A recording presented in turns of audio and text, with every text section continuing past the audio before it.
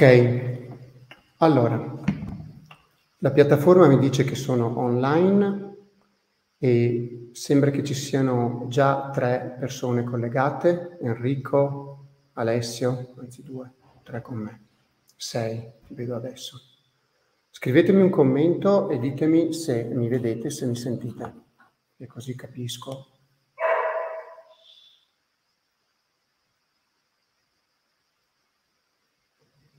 Nel frattempo cerco di vedere se vedo me.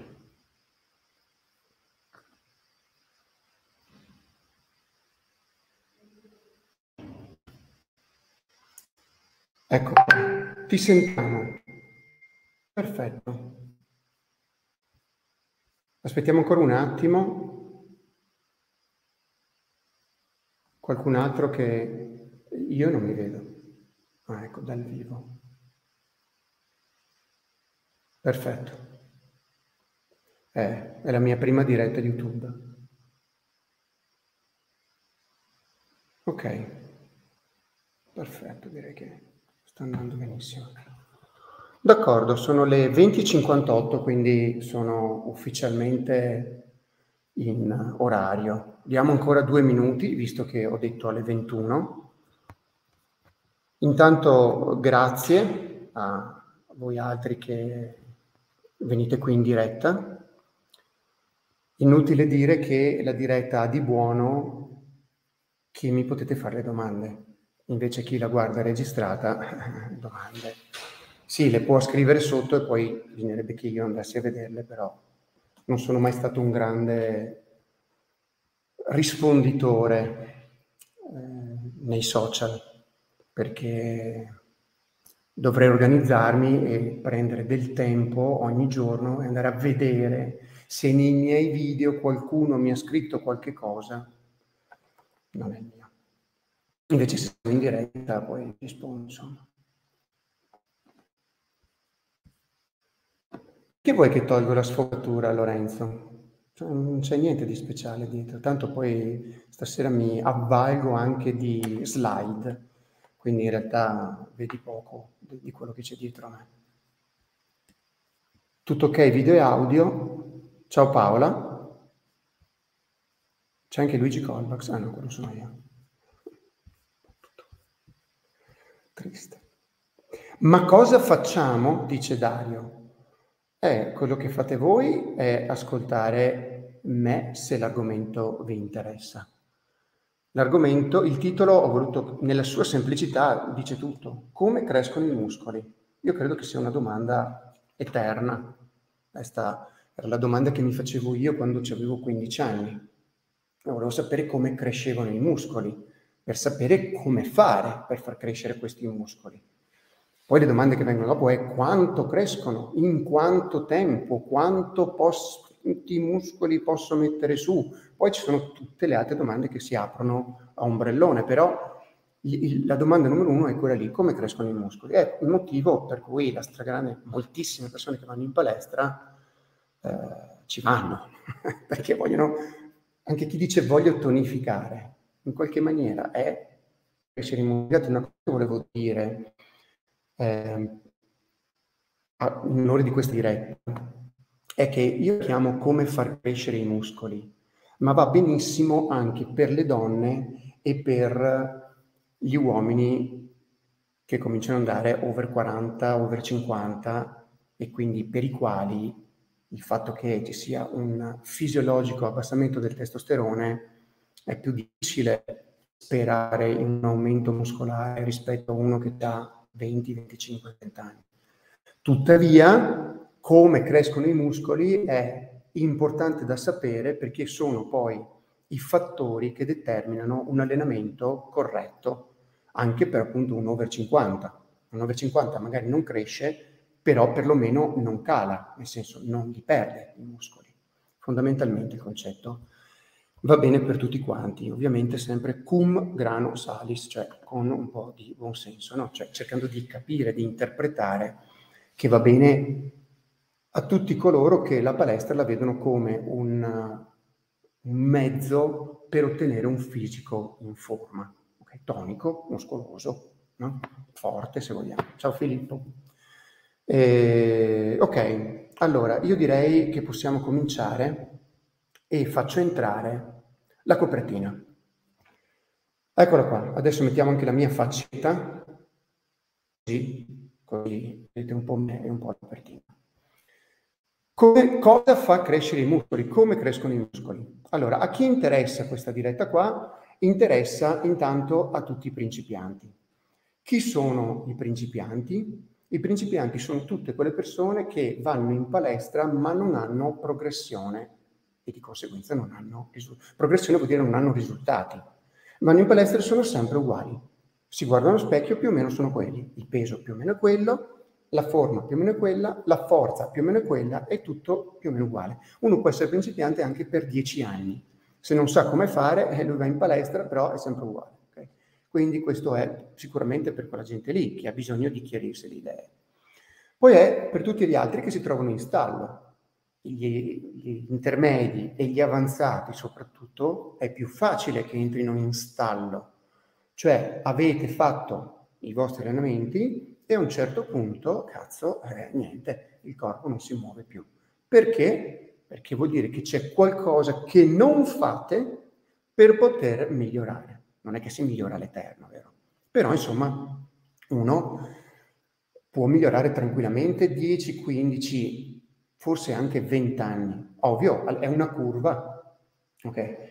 Parte, subito ci sono grandi risultati, poi un po' meno, poi un po' meno, poi è praticamente mantenere. Io la mia età è mantenere, eh, è, già bene mantenere, ok?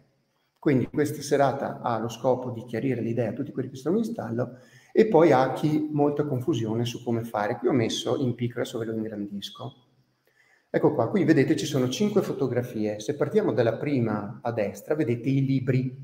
Quindi chi ha confusione su come fare è magari una persona che studia libri, ok, ha un 10, 15, 20, 50 libri, 100 libri, io ne avrò, non lo so, io credo di avere 500 libri in tutto, 500 libri ragazzi, su 500 libri ci sono libri del cazzo, libri difficilissimi da capire, libri ipertecnici, libri aneddotici, anne, aneddotici, insomma c'è un po' di tutto, no? E quindi cosa succede? Che a un certo punto uno dice, ma quel libro diceva così, ma quel libro diceva colà, questo libro dice il contrario, e quindi dice, chi c'ha ragione? Ecco, il mio scopo di questa sera è di fare chiarezza a chi, per esempio, studia libri, dice, ma scusa, in quel libro c'era scritto così. Poi la seconda foto che avete lì dietro c'è il tipo che, che sta con la mano sulla bocca, no? che sarebbe quello che ti dà il consiglio. Persone che dicono, ma quello più grosso della palestra mi ha detto che si fa così, ma ho sempre sentito dire che si fa così. Ecco, eh, non è detto che quello che ti dà il consiglio a te abbia le idee chiare o le chiarisca a te. L'altra foto eh, in alto a destra, invece, vedete che c'è uno alla lavagna. Ecco, molta gente va a fare i corsi corso per personal trainer, corso di, di, di bodybuilding, allenatore, primo livello, secondo livello, va a fare il corso, esce dal corso e non capisce esattamente cosa hanno detto o non se lo ricorda più. Oppure è stata detta tanta teoria e dopo nel pratico dice ho capito ma quello diceva così così ma se io lo faccio col signor Mario cazzo non succede e lì cozza la teoria contro poi quella che è la pratica. La foto in basso a sinistra è quella dove vedete il trainer con l'allievo barra l'allieva. Anche lì purtroppo eh, ci sono molti trainer che, sono, che hanno preso il certificato in due giorni. Voi capite che in due giorni, zio cane, lo dovrebbero sapere anche loro che non, che non ha senso. Però purtroppo esistono queste realtà, no? Gente che si è diplomata, si è certificata in un weekend, due weekend, quello che è, e ovviamente non può avere poi l'esperienza. Poi in due weekend quanto sapere vuoi mai riuscire a passare? Okay. Parlo io che ho fatto anch'io queste minchiate qua, cioè le ho fatte sia da allievo, quindi sono andato a fare ehm, eh, corsi da due giorni, da tre giorni, e li ho fatti io come docente. E alla fine cosa mi sono portato a casa? mi sono portato a casa che purtroppo il tempo è troppo limitato. O è un argomento specifico, tipo il corso su come fare stacco da terra. Come fare stacco da terra? Otto ore, ok, un corso di un giorno, cazzo funziona. Otto ore solo stacco da terra, ok? oppure addirittura, meglio ancora due giorni. Per esempio il corso di Natural Picking, eh, gli ultimi che facevano erano di due giorni, parlavano solo di come si gestire eh, strategie alimentari per andare in forma e per poi definirsi. È un argomento solo, ok? Anche lì però ti, ti cagano giù una marea di informazioni, esci che sei mezzo rincoglionito, se non ti metti subito a studiare il giorno dopo, dopo una settimana ti sei già dimenticato la metà delle cose. L'ultima foto che ho messo in basso a destra, eh, tu vedi il telefonino e il computer, intendendo internet, cioè tutte le informazioni che noi andiamo ad attingere da internet, eh, che lì, anche lì, no, ognuno si sveglia una mattina, soprattutto su Instagram, e ti scrive, no, come si fa lo squat, come non si fa lo squat, i cinque errori per i tricipiti, le cinque maniere per saltare la corda e via dicendo. Quindi una grande confusione alla fine, a meno che uno non abbia l'esperienza e la capacità di interpretare quello che viene detto. Allora, perché ascoltare me? Perché ascoltare me? Allora, vi ringrandisco. Allora, io sono l'anello di congiunzione tra la bro science e le evidenze scientifiche. Ovvero, io sono eh, una persona che ha cominciato quando i libri ce n'erano pochissimi o niente. Quindi era tutto empirico, tutto in base alle esperienze che si facevano in palestra, ok? Tutto per sentito dire, tutto per tramandato. Poi hanno cominciato, ovviamente, giustamente, a studiarci sopra, okay? a fare ricerche, studi scientifici, sempre di più, sempre di più, sempre di più, quindi capite che dal 1980 a oggi, che siamo 45 anni dopo, insomma, per fortuna, no? abbiamo accumulato sapere. Però quello che vi voglio dire, per amore di chiarezza di tutti quanti, ok? Ricordatevi che tutto il sapere arriva dalle prove empiriche fatte prima. Tu, nel caso del bodybuilding, nel caso dell'allenamento in palestra, dell'allenamento con i sovraccarichi, non c'è uno che si sveglia la mattina e dice ah, Partiamo dalla teoria, facciamo finta, diciamo che in teoria così, così, così e adesso proviamo a farlo. No, è sempre stato il contrario. È sempre stato guardando uno che faceva qualcosa e vedendo i risultati che c'erano, cercare di spiegare perché c'erano i risultati facendo in un certo modo o perché non c'erano facendo in un certo altro. Io mi ricordo diversi anni fa, quando un genio che abbiamo in Italia, che risponde al nome di Paolo Evangelista, per chi lo conosce e chi non lo conosce, non importa perché dormiamo tutti lo stesso, ma eh, ce ne sono due Paolo Evangelista. Eh. Uno eh, si occupa di aerobica così e l'altro invece è un ingegnere elettronico, laureato scienze motorie, ha scritto un libro di CSS di 740 pagine e, ed è un, un genio, cioè una persona che vede più in là di tutti gli altri. Ai tempi dell'ignoranza generale, lui era uno che si faceva le domande, diceva ma perché facciamo 4 per 8 e non 5 per 8? Perché se faccio 3 per 10 non è la stessa cosa che se faccio 10 per 3? Ai tempi, quando non avevamo queste risposte, lui già si faceva le domande. Perché ho, ho tirato in barra adesso Paolo? Eh, perché lui era uno che già No, è perché facendosi le domande sulla pratica che uno, se studia, se studia fisiologia, se cerca una spiegazione appunto scientifica, dove per scientifico intendiamo misurabile e ripetibile. Okay? Questo ci permette di entrare in una strada sicura, perché mentre prima è fai così ti succederà questo, mm, boh, forse, adesso più avanti vedremo, perché succedevano questi casini qua, no?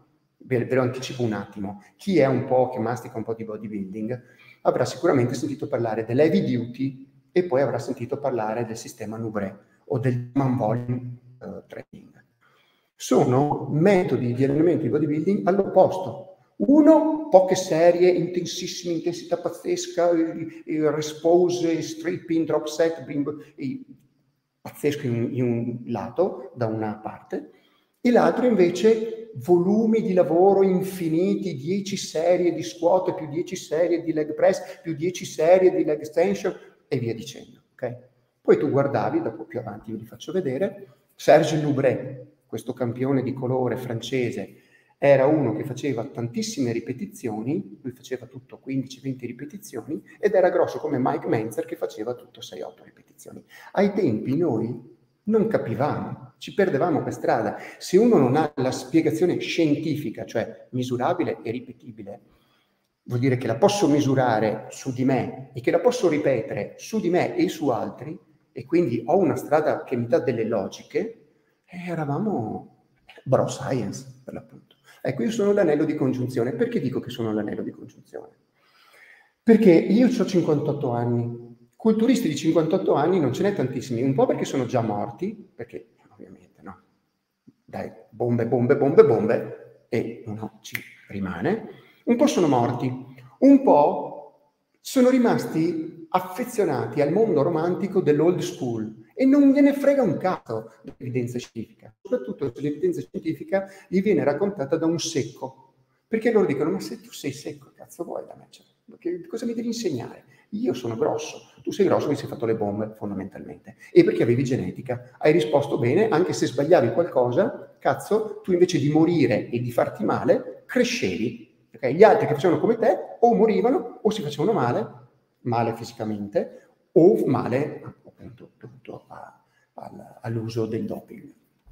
Quindi io invece non è che io sono più bravo degli altri, eh? non, non, io guardo a me, io, io pianto dal nervoso quando venivo a sapere cose che eh, erano al di fuori di quello che era la mia convinzione di essere bravo e di sapere. Okay? Però funziona così, devi rimboccarti le maniche, testa bassa, e riprendere e capire che non finirai mai di sapere. Quindi ecco perché dovete ascoltare, dovete, perché mi permetto di parlare. Perché io prima ho fatto anni e anni e anni di prove prove, esperimenti, eh, quello che diceva quello, quello che diceva quell'altro. E poi ho cominciato a guardare i libri. Guardare. Sì, prima a guardare, le immagini. Il culturista guarda le immagini. E poi ho cominciato a studiare. E a studiare, a studiare, a studiare e capire sempre di più. Qual è il vantaggio mio? Che tutta la teoria che mi viene passata dai libri, io la posso trasportare in un'esperienza che ho vissuto, oppure no. Quindi quando uno mi viene a dire che, ne so, le alzate laterali eh, devono essere fatte eh, in un certo modo anziché in un certo altro perché l'osso si muove così, allora la capsula, e mi parlano di tutte le cose delle articolazioni, eccetera. Io che ho fatto alzate laterali in tutte le salse e fatte fare ad altri, e quindi ho una casistica altissima di, di, di, situazioni, posso dire quello che dici è vero perché l'ho visto succedere, oppure quello che dici è solo teoria perché non l'ho visto succedere. Okay? Mentre i ragazzini di adesso, che hanno tanta buona volontà, tanto entusiasmo e si smazzano perché effettivamente le cose le sanno, perché la teoria la sanno, a, a loro gli manca l'esperienza. Hanno 5, 10, 10 anni di esperienza, per carità, 10 anni di esperienza è già chapeau, io ne ho 40, sono quattro volte avanti a loro, ok? Quindi ho quattro volte, io, io sono a mia volta, se vogliamo, un'evidenza scientifica, non io. Cioè, tante cose che so sono per forza un'evidenza scientifica. L'evidenza scientifica è quando si prende uh, un argomento o una cosa, per esempio, vediamo come, qui in questo caso, come si fa l'ipertrofia, ok? Ne parliamo ampiamente, e per l'ipertrofia si fa facendo così, così, così, così. E io dico sì, posso dire sì, no, sì, ma manca questo e questo, perché ho fatto talmente tante prove che posso dire in maniera scientifica, cioè misurabile e ripetibile, se quella cosa è vera oppure no. Poi, appunto, l'ho detto, ho fatto 40 anni dentro le palestre ad allenarmi, ne ho fatti 25 a insegnare. Quindi ho insegnato agli altri, ho visto che cosa succedeva. Cioè, se dovevo insegnare, era ovvio che io dovevo avere le idee chiare. Okay? Fermo restando che cose che dicevamo 15-20 anni fa, al giorno d'oggi ci sogniamo altamente dal dirle, vero? Perché ci, ci siamo resi conto che sono delle cazzate enormi. Uh, ne ho passati comunque tanti a studiare libri, vabbè, corsi, anche qualche, ho fatto un po' di università, da scemo non l'ho finita, sto sempre pensando che la voglio finire adesso, rompe anche le balle di lasciare le cose a metà, però avendo una certa non ho più la capacità mentale di studiare veloce, comunque vabbè, questi sono affari miei. Non ho peli sulla lingua, ecco, io non ho interessi economici, a me non mi, va, non mi cambia niente, cioè questa notte, dopo quando chiudiamo qua, tutti quanti dormiamo lo stesso, tutti quanti facciamo le nostre cose lo stesso, quindi io non ho nessun interesse a nascondere qualcosa o enfatizzare qualcosa, non me ne frega niente, non devo mica vendere niente. Quindi non peli sulla lingua. Cioè, se ti devo dire che le bombe fanno prendere, ti fanno diventare più grosso, non serve che te lo dico io, ma te lo dico, cioè non sto lì a dire oh stai attento che ti fai male, lo sai già se che ti fai male. Cioè, è pieno il mondo di gente che sa se si vuole far male o no, anche quelli che fumano sanno che si fanno male, anche quelli che bevono e via via, i soliti discorsi, ma non è questo il topic di questa sera. Perché parlo come mangio, è un po' la stessa cosa perché appunto non ho peli sulla lingua, e so come funziona con le bombe e senza bombe. Perché ho messo questa voce qua? Perché mi rendo conto, almeno da quello che vedo, no? che chi scrive i libri, chi fa contenuti più o meno intelligenti, più o meno completi su internet, sono sempre eh, persone che, seguono, che hanno seguito solo una linea. Cioè, o sono persone che non hanno mai voluto sapere niente del doping e tutto quello che sanno del doping è teoria, Oppure sono persone che ne sanno di doping, ma non sanno un cazzo di come funziona nella vita reale. Adesso passatemi questa parola, perché la vita reale sarebbe senza doping, no? Dopo, nel senso, come funziona il corpo umano, di suo, ok? Quindi ecco, questo è, il, insomma, mi do un contegno, cioè spiego perché mi permetto di fare la diretta sulla verità di come crescono i muscoli. Poi non è che sono cose che mi invento io, sono cose che ho studiato e che ho verificato che sono quelle lì. Sono quelle lì, non sono altre. Ecco perché è interessante la diretta e poi mi farà piacere che mi, faccia, che mi facciate voi le domande. Io ne ho già 24, 8 sono queste, ecco qua sono un quadratino basso, ne ho tre fogli, ne ho 24 già pronte, però insomma, ascolto anche le vostre. Questa slide qua, cosa fa crescere i muscoli? Ci sono due foto, l'allenamento e la nutrizione. Questa è l'unica cosa chiara in teoria, perché c'è qualcuno che non è neanche chiara sta roba qua.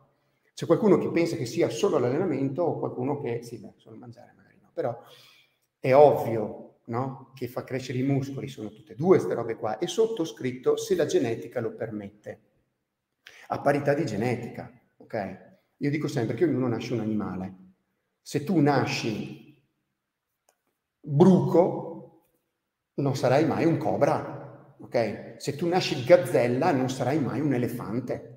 Ecco, il concetto è quello lì. Io conosco persone che si sono studiate tutti i libri del mondo, hanno tutti i metodi scientifici, si fanno un mazzo così, si impegnano veramente tanto, ok? Non dico come un Mister Olimpia, ma molto vicino dal punto di vista di impegno mentale, e sono nessuno, ma veramente nessuno, sono un'altezza peso, ma forse meno ma forse un'altezza peso.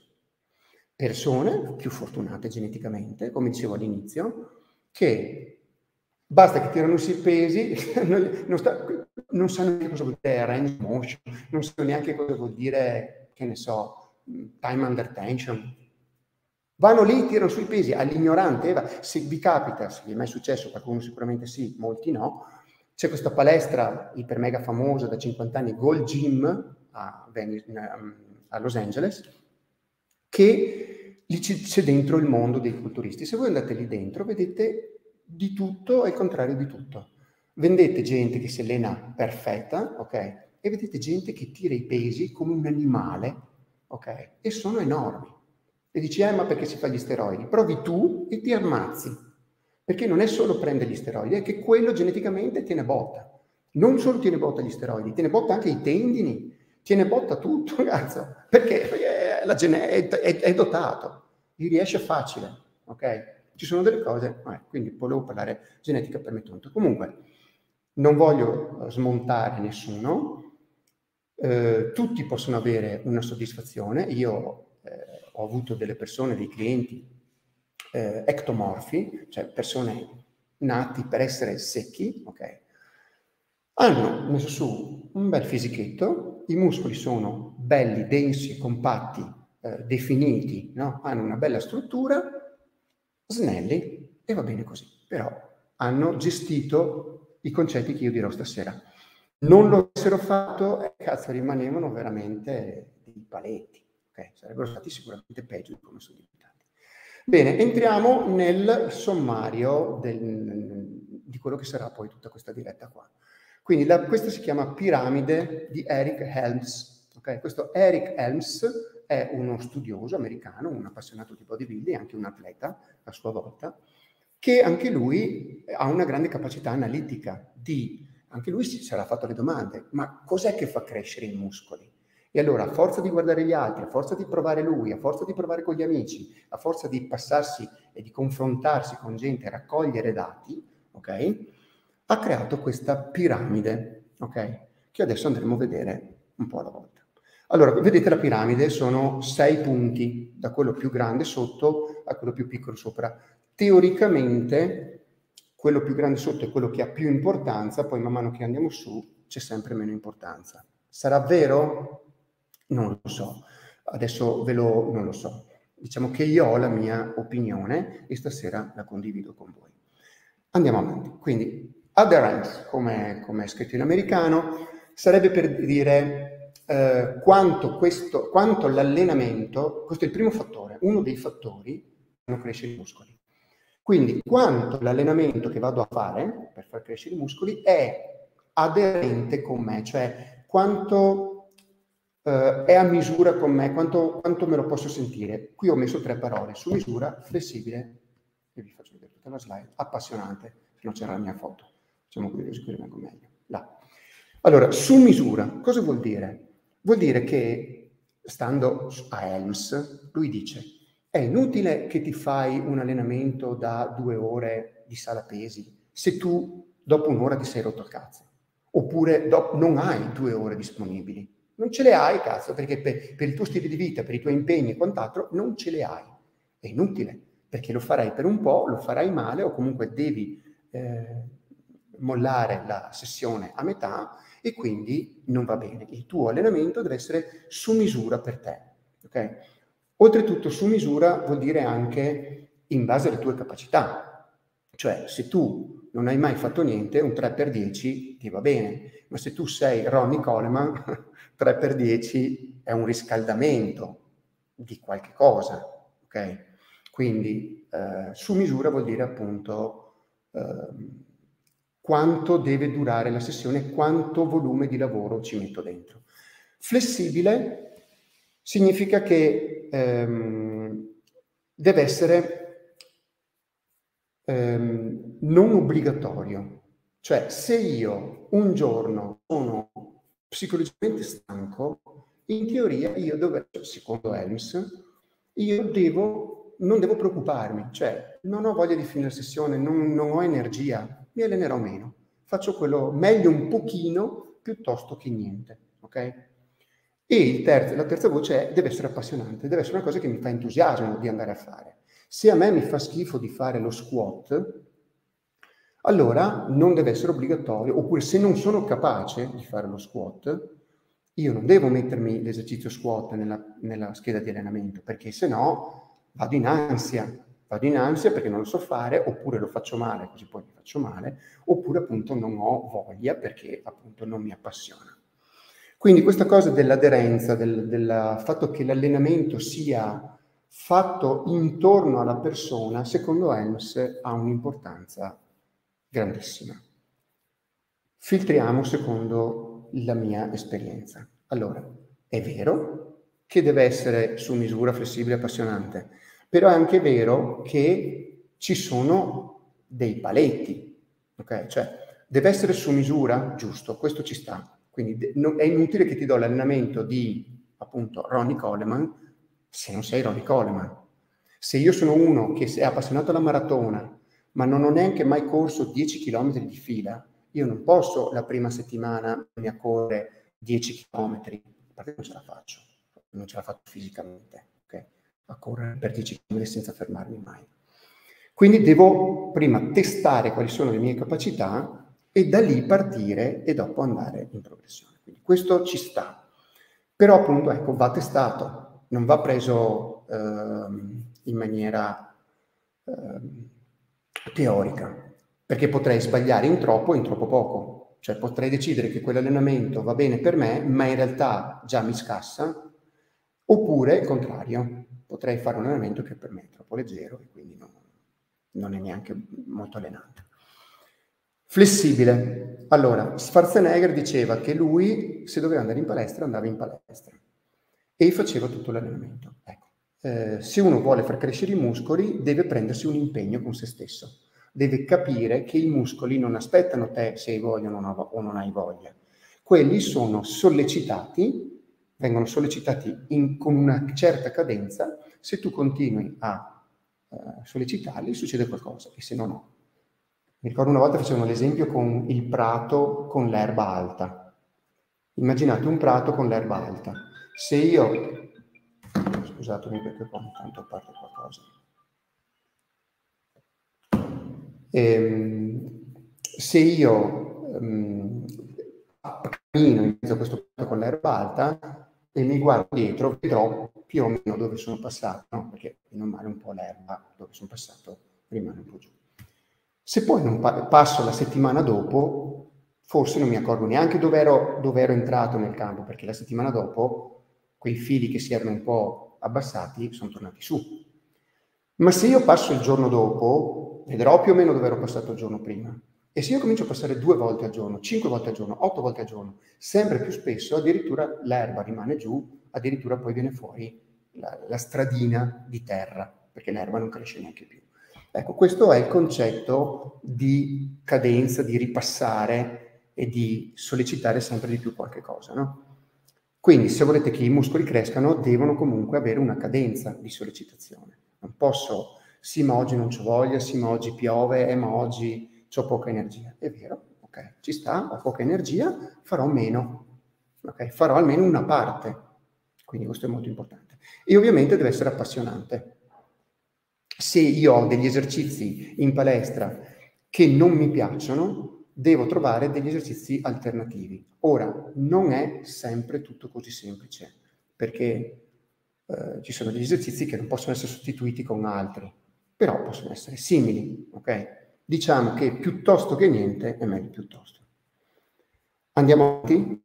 Il secondo gradino, la seconda fascia della piramide di Helms, parla di volume, di intensità e di frequenza, mette tutto stessa, nella stessa fascia. Adesso vediamo di eh, spiegare che cos'è il volume, l'intensità e la frequenza, perché queste sono le cose, gli ingredienti base, ok?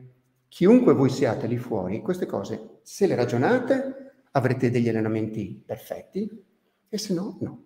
Molto semplice, ok? E non lo dico io, Helms è stato quello che ha messo insieme i, i, i, gli ingredienti, ha detto, allora signori, gli ingredienti sappiate che sono questi, bam bam bam bam bam bam. Prima era tutto, e c'è chi dava, focalizzava soprattutto su alcuni ingredienti, chi si focalizzava su altri, avevano risultati, avevano risultati parziali, avevano risultati perché erano geneticamente dotati e siccome appunto esisteva molto questo bro science, no? questo che vige la legge di quello più grosso, quello più grosso diceva una cosa e sicuramente era così. No, era così per lui, che lui gli diceva bene anche se non aveva tutti gli ingredienti. Ad altri, magari, anzi quasi sempre, mancando tutti gli altri ingredienti, il risultato non arrivava. Andiamo avanti. Il volume. Il volume è quello che faccio io in palestra. Quindi, quanti esercizi faccio, quanti ne faccio, in base a quanto tempo il mio corpo è capace di tenere botta perché se io metto dentro 24 esercizi e faccio una serie per esercizio, da 10 ripetizioni riesco anche a farli tutti. Ma se comincio a aumentare anche le serie e le ripetizioni, io rimango in palestra tre mesi, tre ore, rimango tanto tempo. Quindi i, i parametri che si muovono sono, come vedete, eh, intanto io non ho messo esercizio, forse c'era, perché c'è qualcosa che mi copre. Vediamo. Faccio così. Eccolo qua. Eh, no, questo è il numero sessione. Non ho messo nella fascia del volume gli esercizi. Quindi anche quello è un, è un parametro. Quanti esercizi faccio in una sessione? E qui dopo ci ricolleremo col monofrequenza e multifrequenza. Poi quante serie per esercizio e quante ripetizioni per serie e quanti chili adopero. E già qui potrei fare tutta la diretta fermandomi qua. Cercherò di, di, di semplificare. Allora, una volta ci chiedevamo, ma è meglio, come ho detto prima, è meglio fare tre serie da 10 ripetizioni con 100 kg o è meglio fare 10 serie di 3 ripetizioni con 200 kg per assurdo? Ok? Perché parlando eh, a livello di muscoli, i muscoli non contano, non contano, i muscoli non sanno contare, no, non contano, non sono importanti. I muscoli non sanno contare, loro non, non, non sanno che tu stai facendo due serie, tre serie, 20 ripetizioni, 6 ripetizioni, loro no. Loro sanno solo che il cervello gli dice di contrarsi contro una resistenza che è più o meno pesante per un certo numero di secondi. Se io faccio una serie da tre colpi con tanto carico, ok, e sto facendo stacco da terra, o sto facendo vai, stacco da terra, il mio corpo capisce che deve fare, deve muoversi, deve tirare su sto peso, deve stendersi, deve mettersi in posizione retta per tre volte tirando su un peso X che gli fa tanta fatica. Quindi ha questo carico che gli, che gli crea resistenza e lui per tre ripetizioni, quanto ce ne metterò a fare tre ripetizioni? Mettiamo 6 secondi, 8 secondi, vabbè, quello che deve essere, per 8 secondi deve, cazzo, spostare quel carico là. Questo capisce. Quel tipo di sollecitazione crea una risposta fisiologica ormonale, fisiologica, per cui poi il muscolo cercherà di adattarsi a quella fatica e crescerà, parlando sen- senza appunto andare troppo sullo specifico. Invece, se io gli do una sollecitazione diversa e gli dico, guarda, invece che fare tre colpi, ne fare dieci, hai meno carico. Quindi lui per fare 10 colpi, invece di metterci 8 secondi, ce ne metterà, che ne so, 25 di, di numeri, che è il triplo quindi per un tempo tre volte più lungo quello di prima, lui deve spostare un carico che comunque gli fa fare fatica. E quel tipo di sollecitazione gli darà un altro tipo di risposta fisiologica, alla quale lui cercherà di adattarsi. Il concetto è questo qua. Il muscolo non lo sa cosa stai facendo tu. Lui sa che sta facendo una fatica. A seconda del tipo di fatica che gli fai fare, lui reagirà e si trasformerà in un modo o in un altro. Se io faccio la maratona, corro. Se io faccio i 100 metri piani, corro. Ma un centometrista è fatto molto diverso da un maratoneta. Eppure tutti e due corrono. È lo stesso cazzo di movimento. Sono due sollecitazioni diverse che portano a risultati estetici diversi. Questa sera stiamo parlando di ipertrofia e stiamo parlando di ipertrofia dal punto di vista estetico. Okay? Il fatto che, che poi si studi la forza, che uno voglia migliorare la forza, entra a far parte del gioco perché serve ai fini dell'ipertrofia. Però fondamentalmente chi va in palestra per un'azione estetica, quindi per avere il muscolo bello tonico, il concetto è quello deve capire tipo di allenamento deve fare per non sbagliarlo. Quindi, una volta si diceva, me l'avevo anche scritto, adesso lo trovo. Cioè, sì, ce l'ho qua. Oggi me l'ha scritto un ragazzo e io ho detto sì, cazzo è vero. E lo trovo, eh. No, non è qua. Eccolo qua. Vabbè, lo faccio, adesso ve lo leggo. Quando ho fatto il corso di personal trainer dicevano 12-8 ripetizioni per 15 serie per i muscoli grandi e 9 serie per i muscoli piccoli col 70% del carico. E, questo, e con questo ti avevano messo a posto. Tu rispondevi, come si fanno i muscoli? 8-12 colpi per 12, 15 serie gruppi grandi, quindi tipo, non so, gambe, gruppo grande, 15 serie e 9 serie gruppi piccoli, mettiamo bicipiti, no? Serie da 8, 10, 12 colpi e questa era l'ipertrofia, te l'avevano spiegata così. Nella sua semplicità ci stava anche quello che facevamo noi negli anni Ottanta. Però se non sai perché, tu non hai progressioni. Ok? Andiamo avanti. Quindi il volume è le, quante serie per quante ripetizioni eh, decido di fare. Il volume io lo devo mettere dentro in base alla mia capacità. Era come ho detto prima, con l'esempio del maratoneta, di, di chi fa maratona. Se io non ho mai fatto 10 km di corsa, non posso cominciare subito 10 km di corsa. Se io non ho mai fatto pesi, è inutile che comincio con appunto le 15 serie per i gruppi grandi di gambe, perché mi sfaccio subito, ok? o comunque cerco rogna. Quindi devo testarmi, devo capire, la partenza, ve la dico io, è 3x10. Joe Weider negli anni 70 ha capito questa roba qua. Per partire, signori, non sapete come fare 3x10. 3x10. Ti scegli un esercizio per muscolo, ok? Ti fai 6 eh, esercizi, 6, massimo 8 esercizi, perché dopo se fai più di 6-8 esercizi cominci a stare in palestra troppo tempo e il corpo, l'organismo che non è abituato a fare quella roba lì si stanca comunque, cioè gli ultimi è già stanco perché fa tutti gli altri, ok? Quindi 6-8 esercizi, 3 per 10. Puoi decidere di fare 6-8 muscoli, tipo che ne so, oppure due per il petto, uno di spinta, uno di chiusura, chiudo. poi fai spalle, poi fai bicipiti, tricipiti, non so, addominali, siamo già arrivati a 5-6. 3 per 10, finita la prima sessione. Sessione dopo, altre parti del corpo, 3 per 10. Si parte da lì. Quanti chili adopero? Quanti chili adopero? Più che puoi. Più che puoi, cosa vuol dire? Eh, devi fare 10 colpi, prova a vedere quanti carico riesci a usare per fare 10 colpi. Ok? E va bene. L'intensità è un altro fattore fondamentale percentuale di un RM. Un RM vuol dire il massimale, vuol dire il massimo peso che riesco a spostare per fare una ripetizione di un esercizio. Però questa roba qui si fa solo con i fondamentali, non c'è il massimale di bicipiti, perché va in cerca di rogne, veramente. Chi lo fa a fare i suoi, se poi gli parte il tendine del bicipite, ok? Già viste queste minchiate qua, da chi purtroppo è ignorante. Quindi esiste solo eh, nei fondamentali, quindi lo squat, eh, potrebbe essere la lat machine, comunque perché non, non, tutte le persone riescono a fare il pull up, eh, poi cosa c'è? Lo stacco, il military press, la panca piana e il rematore. Questi sono gli esercizi fondamentali. Poi volendo c'è qualcuno che ci mette i dip per i tricipiti, però vabbè, i dip e i pull up le persone più deboli all'inizio non li sanno fare.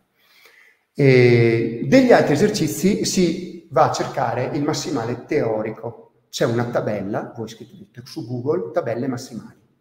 Ve ne vengono giù una valangata. Sono tutte più o meno attendibili. Non sono perfette, ma sono attendibili. Okay? O comunque per cominciare vanno bene. Uno guarda quanti più chili riesce ad operare per fare, mettiamo, 5 colpi, e poi va nella tabella dei massimali dice, allora, se faccio 5 colpi con 50 kg, il mio massimale teorico è 60.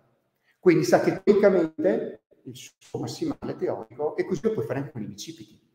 Puoi fare 8, il massimo carico che riesco a usare per fare 8 colpi, 10 colpi di Carl, viene fuori che lo faccio con 30 kg per dire un numero, allora vado nella tabella di massimali, se faccio 10 ripetizioni con 30 kg, il massimale è 40. Non lo, non lo farai mai il massimale di bicipiti, non vai a provare. Teoricamente quello, così sai che poi puoi lavorare con le percentuali di intensità. Ok? Le percentuali di intensità è appunto un altro fattore fondamentale. Qual è la percentuale di intensità per l'ipertrofia? 70-75%. Questo è. Lo abbiamo fatto per decenni. Funziona? Funziona sì, tenendo solo quello, se io poi ho tutta una serie di altri fattori che concorrono a farmi crescere il muscolo. Non devo dimenticarmi però che è importante che io diventi anche più forte, non solo più grosso. Okay? La differenza fra, for- fra essere forte e grosso la capiamo quando guardiamo un powerlifter e un culturista.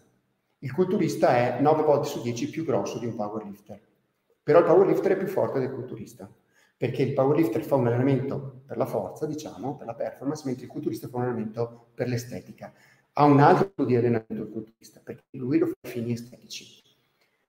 Tuttavia, lasciamo stare il doping, perché col doping è tutta una cosa a sé, cioè è una, in gran parte una cosa a sé.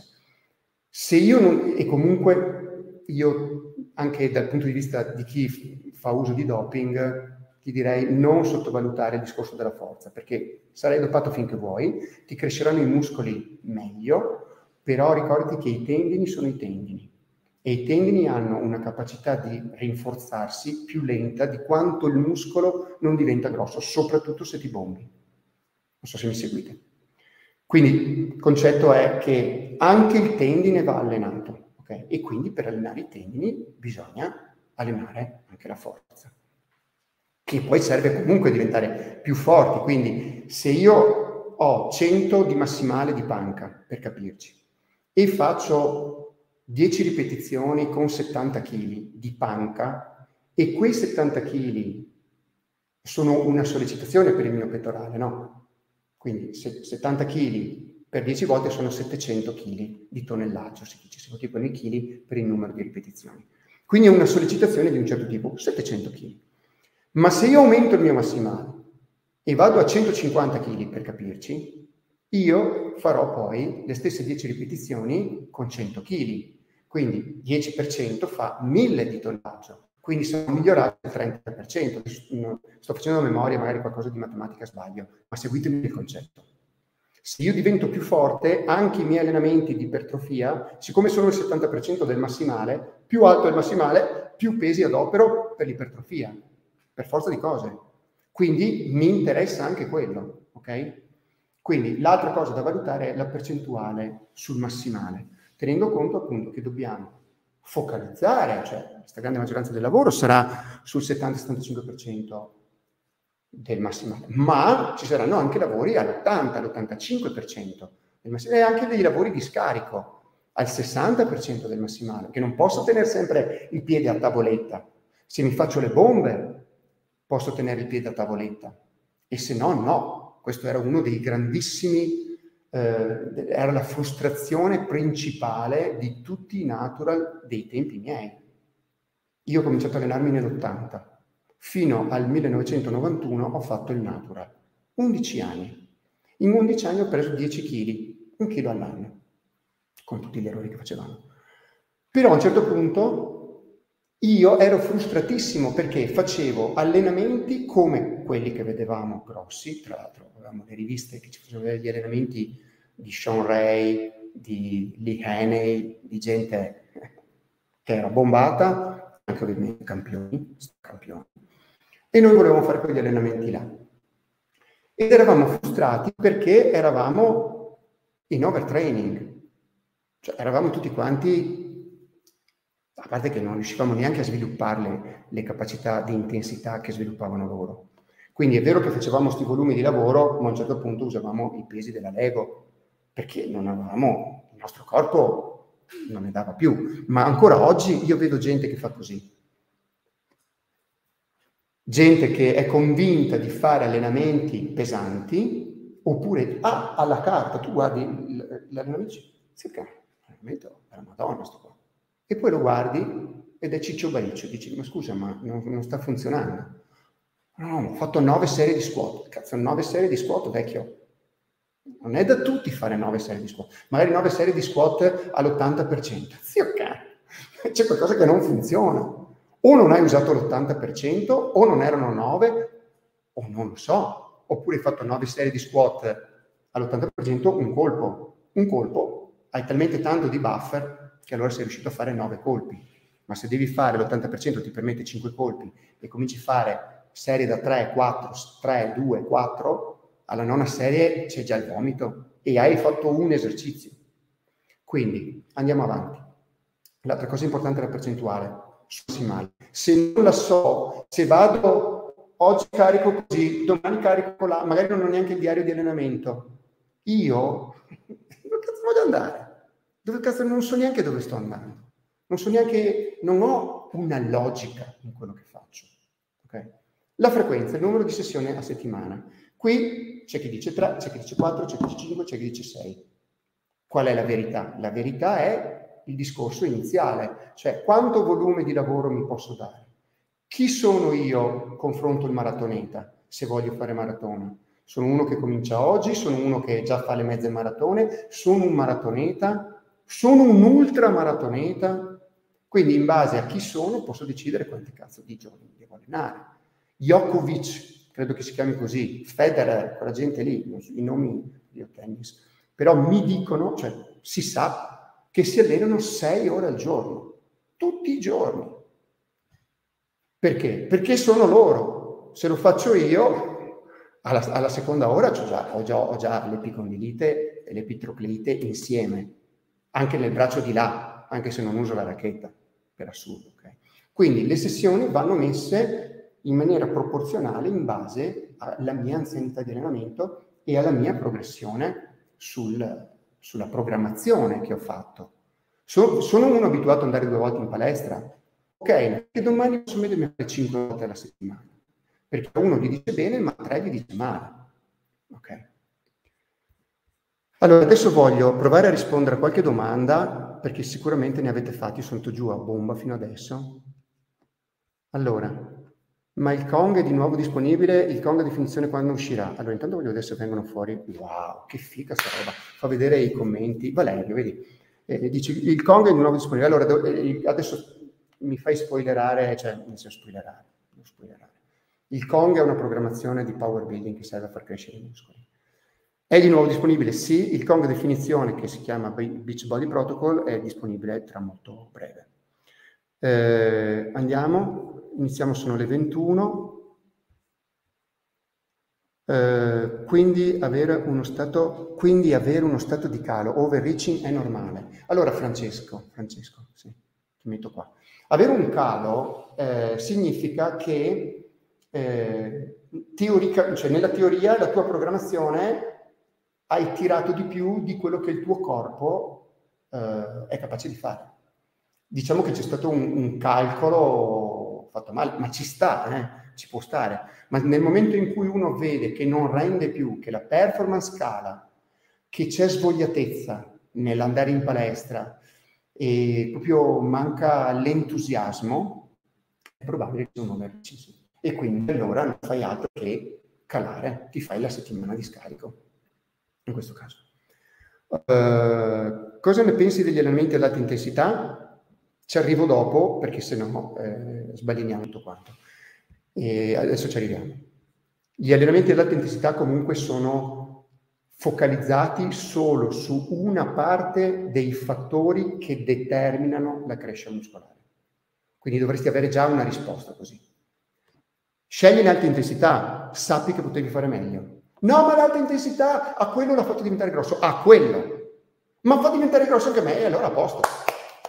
Non hai bisogno di me, non hai bisogno di nessuno. Ti risponde bene l'alta intensità, stai diventando Mister Olimpia, a posto chi ti deve dire niente.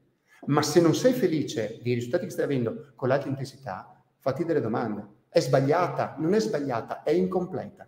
Come sono incomplete altre metodiche? Che, perché i, i, i fattori sono questi qua che sto elencando io. Andiamo avanti, andrà salvata in streaming? Spero di sì. Che ne pensi di quello che ha detto Ludovico Lemme per i fondamentali che non servono? Ti scrivo un weightlifter, ma faccio anche stacco e muscolazione lunga vita e prosperità. Allora, ehm, per quanto riguarda il discorso dei fondamentali che non servono, ah, queste cose qui, io ho vissuto il periodo in cui i fondamentali non sapevamo neanche cos'erano, il periodo in cui i fondamentali sono diventati la Bibbia, chi cazzo fa palestra? Se non fai i fondamentali devi morire, sei una merda. Adesso che, ma sì, no, però, e allora diventa un po' una provocazione. Ma allora solo per i powerlifter? No, ma allora solo per quelli che vogliono fare la forza? Sì, però solo nelle serie pesanti? E poi ognuno ci mette la sua.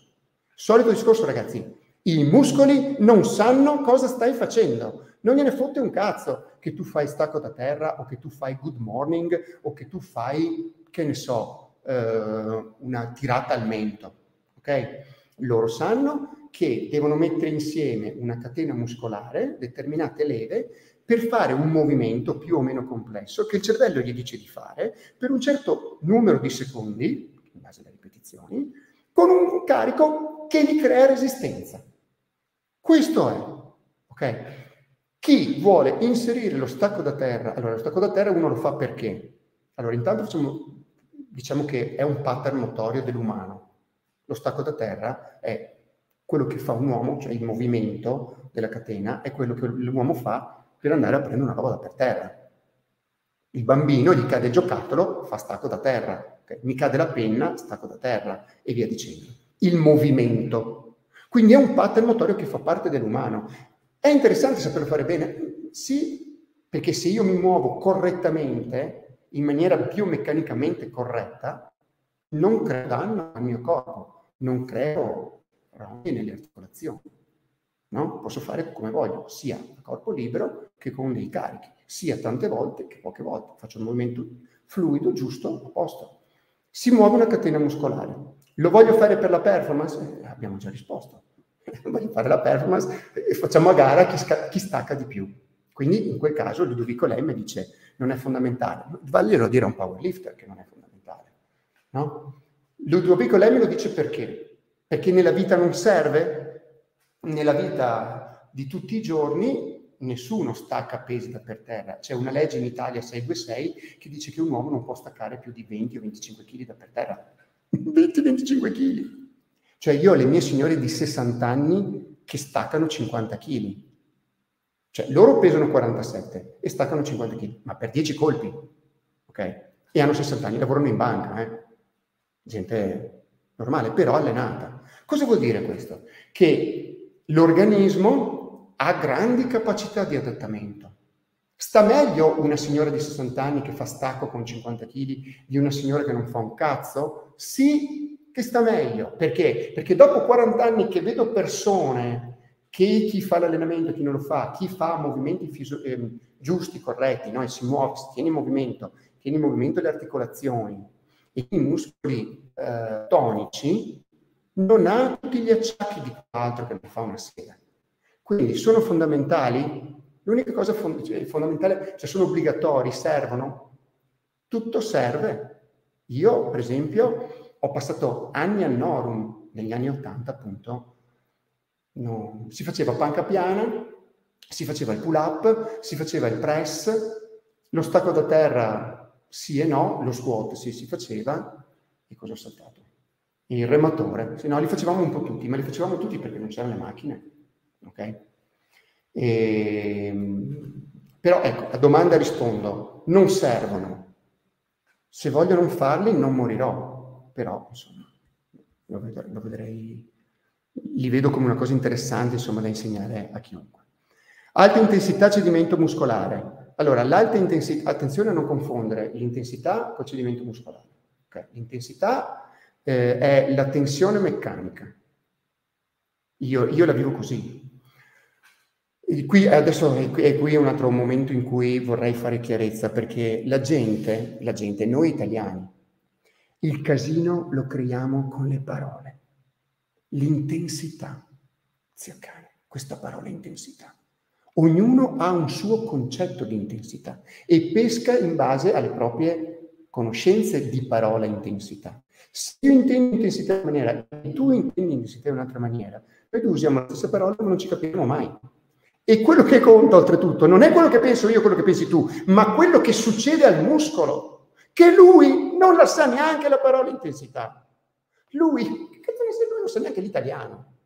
Lui sa che fa una fatica. Che tipo di fatica? La tensione muscolare, la tensione meccanica. Te- il fatto che lui rimane sotto tensione e, e si deve contrarre, perché tensione potrebbe essere anche isometrica, però è meglio isotonica cioè dove c'è la contrazione e poi c'è l'allungamento dovuto alla contrazione del suo antagonista. Ok? E lui è continuamente stressato da questa tensione. Cedimento muscolare è una parte della tensione, perché se io ti dico, va bene, facciamo così, prendiamo un carico, facciamo 10 colpi di panca alla morte, ok? Tu fai 8, 10, ok? Quello è cedimento muscolare, mettiamo che la fai pulita. No, c- no per quello che sarebbe cedimento tecnico. Cedimento tecnico, cedimento muscolare. Cedimento tecnico vuol dire che non è più la ripetizione pulita, cedimento muscolare è che proprio non va più, non va più. Anche qui si aprono le voragini, se vogliamo. Ho capito, cedimento tecnico vuol dire che non è più pulita, cedimento muscolare l'ho tirato su tutti, cioè in qualche modo sono andato avanti lo stesso. Ecco, io toglierei questa cosa qua. In qualche modo sono andato avanti lo stesso. Non dovrebbe neanche esistere come concetto per chi si allena in palestra. In qualche modo sono andato avanti lo stesso. Ehm, cerco di essere pulito nel movimento, se non va, mollo. Ok? Benissimo, torniamo al discorso. 10 colpi. 10 colpi, non ce la faccio più. È cedimento muscolare, no? O cedimento tecnico? Sì, sì, ma non è finita. Perché io posso dirti, ok, adesso ti aiuto io. Ne facciamo altri 5, ti tolgo peso, ti aiuto io e ne fai altri 5. Okay? Poi non ce lo fai più. Adesso facciamo negative. Te lo tiro su io proprio tutto, di brutto, e tu solo fai l'eccentrica e cerchi di resistere. Quindi capisci che l'intensità è ben oltre il concetto di cedimento muscolare. Cedimento muscolare è un tipo di intensità. Io posso aumentare l'intensità. Queste, queste, e poi in fondo ne parlavo, ma mi hai anticipato tu, le tecniche di intensità servono a amplificare la tensione meccanica, la tensione muscolare del muscolo, ok? Per avere più ipertrofia. Allora dice, eh, cazzo, allora abbiamo risolto? No, che non abbiamo risolto. Perché noi, sfigati degli anni 90, credevamo di aver capito tutto quando abbiamo scoperto questa roba qua, cioè delle tecniche di intensità. E cosa Beh, natural si stressavano. Addirittura c'era gente che cambiava sport. Perché? Perché vai in overreach, in overtraining, in over di qualsiasi roba. Cioè, non, è, non è sostenibile del fisico natural una roba del genere. Forse, forse in maniera progressiva, se ci arrivi dopo vent'anni di allenamento, forse qualche outsider si può permettere quei tipi di allenamenti lì. Se no ti devi bombare.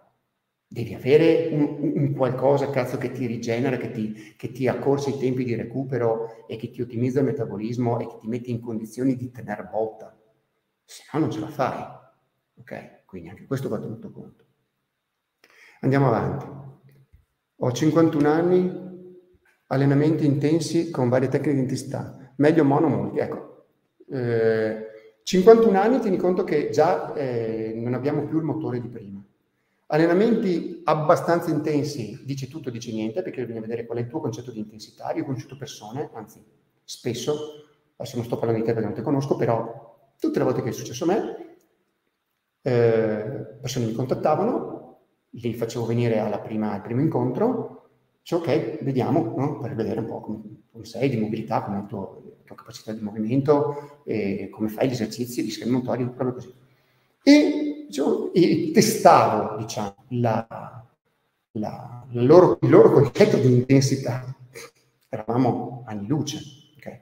Da un lato è preserva sta roba. Tradotto, hai 51 anni, ti alleni secondo te abbastanza intenso. Non è veramente vero che ti alleni intenso, però perlomeno non ti fai male. Quindi, prima di tutto, bisogna vedere se l'intensità la intendi nel modo in cui va intesa perché appunto se usi tecniche di intensità e hai il concetto di intensità, a 51 anni, amore mio, o ti fai le bombe o cerchi rogna. Okay? Perché il fisico natural, ripeto ancora una volta, ci arriva alle tecniche di intensità, ma in maniera progressiva e un po' alla volta. E meglio mono o multifrequenza lo dico dopo perché sennò eh, continuo a fermarmi e non andiamo più avanti. Allora, potresti dirci quali sono secondo te gli integratori? Questa non è la serata per gli integratori, sto parlando per la forza. In proporzione, alla tua esperi- in, proporzione in, base, in proporzione, in base alla tua esperienza, conta di più l'allenamento, l'alimentazione ai fini dell'ipertrofia? Ai fini dell'ipertrofia la cosa più importante è l'allenamento. Non è solo l'allenamento, è importante anche l'alimentazione, ovviamente. Okay? Ovvio che se mangio troppo poco, io mi alleno, mi alleno, ma il muscolo non cresce perché è come, è come una casa. Se ho la casa e voglio fare più grande, mi servono due cose. I mattoni per fare nuove stanze o per ingrandirla e i muratori. Ok? Allora, i mattoni sono le proteine, per capirci, comunque il mangiare. E i muratori è l'allenamento. Se io ho i muratori ogni giorno che vengono, quindi mi alleno ogni giorno, ma questi poveri muratori non gli do i mattoni, che cazzo mi ingrandiscono? Non mi ingrandiscono niente. E se io compro mattoni, quindi mangio di più proteine, ma non mi alleno non faccio venire i muratori, tu capisci che non succede niente. Quindi è una cosa che una più o meno una cosa vale l'altra. Però secondo me vale di più l'allenamento, ma di poco.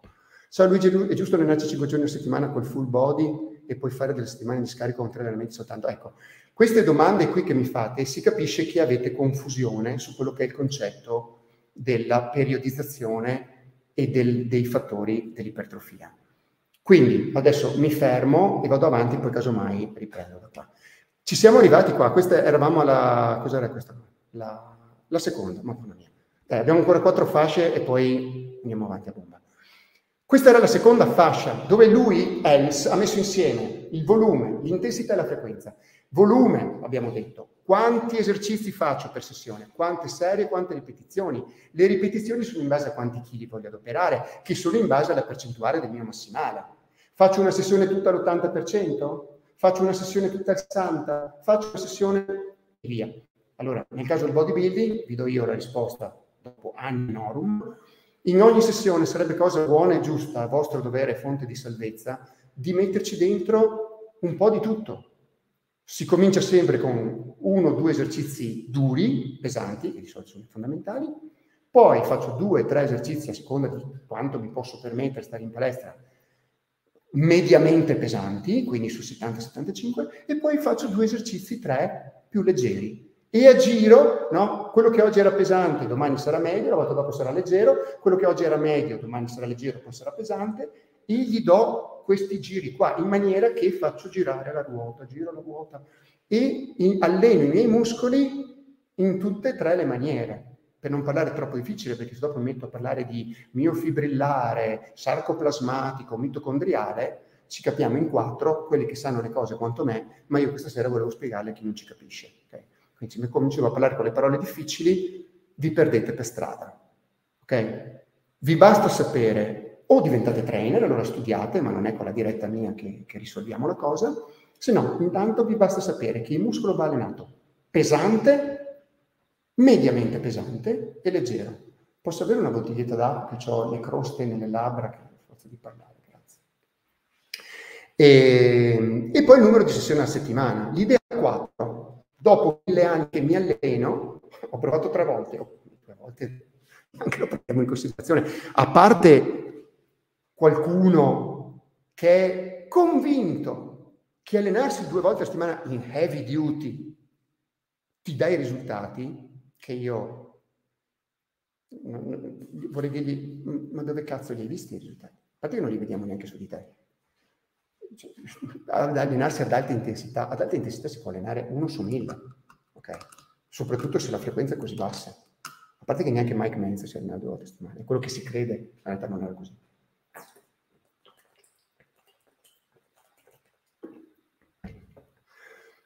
Quindi, tre volte buono, quattro ideale, cinque meglio di tutto, meglio di tutto.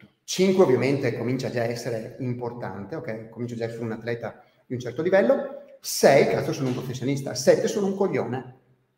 7, no. Io, no, le persone che hanno il cervello acceso non si allenano 7 volte a settimana.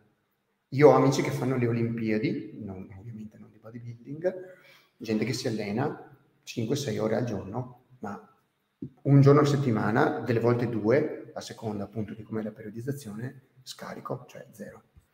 Vediamo, fascia 3. La fascia 3 sono le progressioni. Ecco, questo è un altro punto cardine dove la gente si perde. La progressione.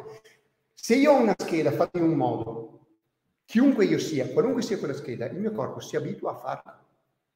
Io devo progredire. Cosa vuol dire progredire? Devo cambiare dei valori, devo cambiare dei parametri, che sono quelli che abbiamo appena detto. Di solito sono quelli delle serie, del numero delle serie, del numero delle ripetizioni e delle percentuali di carico. Ovvio che non può essere una linea, eh, come si dice, direttamente proporzionale, no? Deve essere a onde. Vado su e poi scarico e prendo un po' d'aria, perché non posso, come ho detto prima, tenere sempre la tavoletta a bomba. Vado su e un po' scarico. Quindi le progressioni sono importanti, mi devo programmare. Ecco perché si parla di programmazione nel bodybuilding. A me le persone che hanno la scheda, che scheda è questa? Ma la programmazione? No, la scheda. Come la scheda, zio Cioè, scusi, prima, cioè cosa hai fatto prima? È un'altra scheda, ma era collegata a questa e lì già ti guarda, collegata. Come collegata? Sì, cioè, quello che hai fatto prima era in relazione a quello che stai facendo adesso. 50% delle persone ti guardano così, con l'occhio a mezz'asta tipo Isidoro, eh, e non sanno più cosa devono dire. Qualcuno dice, no, no, sì, sì, no, progressione non ha capito un cazzo, ma siccome si deve dare un contegno e non vuole fare la figura del cretino, ti dice così. Tu per buona, no, io non gli dico niente, gli dico, ah sì, e la progressione qual è? Perché allora dopo le difficoltà non ha senso. Qualcuno eh, va in progressione. bisogna stare attenti appunto con le progressioni perché, come ha detto prima il ragazzo, eh, può essere che vado in overreaching, eh, sì, può essere se hai sbagliato appunto a calcolare le progressioni. Quindi anche le progressioni vanno gestite in maniera, diciamo, consapevole. Qui gioca tantissimo l'esperienza. Voi capite benissimo che lo scienze motorie di turno o il personal trainer che ha fatto il corso, per quanto bravo sia, per quanto si, si dà da fare, eh, se non ha l'esperienza, eh, la scheda l'ha copiata da quella che ha imparato nel, nel corso, ha preso una scheda base e poi si fa l'esperienza sul cliente. I primi clienti fanno da cavia. Io delle volte ho fatto degli errori anch'io, eh, perché non ero abbastanza eh, attento. Andiamo avanti, l'altra è la, se- la, selezione degli esercizi. Allora, vedete che nelle fotografie qui io ho messo sempre lo, cioè, un esercizio di gambe. In mezzo c'è lo squat, a sinistra c'è lo squat col multipower e a destra c'è la leg press. Sono sempre, è sempre una cosciata se vogliamo, no? Però sono tre esercizi diversi. Questo si riprenderebbe a quello che avevo detto prima. La, io devo selezionare l'esercizio in base a come vado bene. Se io non sono bravo a fare squat, io non mi metterò mai sotto un carico importante di squat, perché cazzo non lo so neanche fare. E quindi, certo che vado a imparare lo squat, però finché lo imparo e quindi non mi posso permettere di lavorare intenso o di lavorare con carichi importanti all'80-85%, io vado con la leg press o col multipower e vaffanculo. Perché? Perché se succede qualcosa metto giù e non si ammazza nessuno. Ma voi dite, ah, ma c'è il mio amico che mi sta dietro, il mio amico sta sega, perché c'è anche un blocco psicologico, un blocco mentale. E se per caso il mio amico non mi tiene? E se per caso mi alleno da solo? Io per esempio mi alleno da solo, io non ho nessuno che mi sta dietro le spalle. Sì, potrei avere mia moglie, ma te la vedi mia moglie che sta dietro a 140 kg di squat? Ci uccidiamo in due. E io ho un blocco, quindi non vado giù. Invece monto nella pressa e chi cazzo se ne frega? Spingo cazzo, spingo alla morte. Perché? Perché non mi può succedere niente, al limite resterò lì. Ok? Quindi è importante scegliere l'esercizio, perché bisogna saperlo fare bene, l'esercizio, e saperlo fare pesante. Quindi delle volte uno dice, ah no, poi squat l'85%, e poi vedi gente, cazzo, che va giù di, di un quarto, perché eh, vai giù, perché non sei giù? Eh, no, avevo paura di restare sotto, eh, ma vaffanculo, allora togli il peso, per dire. Ok? Questo è importante, la sezione degli esercizi. Il riposo tra le serie, anche questo è importante. Il riposo tra le serie indica, e qui c'è la confusione, no? Perché siamo stati abituati con i numeri. Un minuto, due minuti, tre minuti. Questa è una, uh, come si può dire? Una convenzione, una convenzione mentale del tempo. Il tempo lo abbiamo inventato noi, no? Abbiamo cercato di capire un po' come funzionava il giorno solare, allora 24 ore le dividiamo in 60 minuti, un'ora, e allora il minuto è questo periodo qui che sono 60 secondi. Insomma, chi si è inventato l'orologio ha fatto il concetto del tempo, perché avevamo bisogno comunque di avere una misura, ok? Perfetto. Però ognuno di noi... Allora, quello che ho capito io in 40 anni è che, sempre il discorso, i muscoli non sanno leggere l'orologio ok? Non lo sanno leggere. Quindi io l'orologio lo tengo lo stesso per avere io una misura. So che è passato un minuto, ok, tipo delle volte può succedere, mi è successo che mi sento riposato, eh, ho fretta, che ne so, mi viene da andare sotto, guardo 47 secondi. 47 secondi, non ho recuperato niente. Okay? Ma se non avessi guardato, magari sarei andato sotto. Magari l'avrei fatta bene lo stesso la serie, o magari no, perché non avevo recuperato abbastanza. Okay? Due minuti, delle volte succede che mi metto, che ne so, che mi distraggo, magari mi metto a chiacchierare con un'altra persona, o magari anch'io da cretino perché vado col telefonino e mi metto a picciottare col telefonino quando invece uno dovrebbe allenarsi col diario di allenamento in mano e basta. E dopo, ah, cazzo, sono passati 4 minuti e mezzo. Okay. Vabbè, mi sono riposato di più. Quindi eh, il riposo tre serie ha senso perché se ne faccio troppo poco io perdo in performance. Se io faccio troppo a lungo, a parte che sto in palestra due ore, potrei anche raffreddarmi. Mi è successo rarissimamente di vedere qualcuno che facendo tempi di recupero troppo lunghi poi si è strappato o si è stirato un muscolo perché eh, si era raffreddato. Successe, successe a me, ma ancora con le arti marziali, mi ricordo. Vabbè che erano altri tempi. E feci, stavo facendo tutta una serie di calci alti, sono stato fermo un po' troppo, tipo mi sembra oh, 6-7 minuti, e poi ho ripreso a fare calci alti e mi sono stirato l'adduttore. Perché? Perché si era raffreddato il muscolo, ok? E quindi il riposo da serie è importante, diciamo che si considera riposo completo, oltre i due minuti, tre minuti meglio, i power lifter, quelli pesanti, passo, fanno tranquillamente anche 5 minuti tra una serie e l'altra, ma lasciamo stare le persone altamente specializzate. Eh, diciamo che un minuto è il minimo sindacabile. Però con un minuto, se ti alleni serio per l'ipertrofia, ti garantisco che ti spacca. Crei un'intensità pazzesca e arrivi veramente rovinato. Alla quarta, quinta serie non, non riesci più a chiudere le ripetizioni. Perché? Perché è un recupero, si dice, incompleto. Okay? Quindi, sai già, io per esempio un minuto e mezzo, due minuti sto. Però ha un, un suo fattore di importanza, il recupero. Okay? ed è il penultimo gradino. E l'ultimo è il time under tension, cioè quanto tempo ci metto io a fare una ripetizione, ci metto nel, per l'ipertrofia qual è il tempo migliore.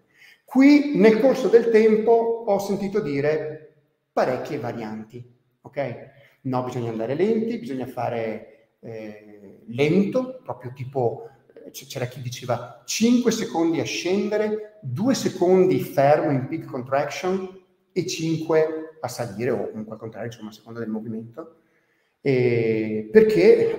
Perché era, andava di moda così, l'aveva detto un grosso, cazzo, siccome l'ha detto lui, allora lo facevano tutti, ma non sapevano perché.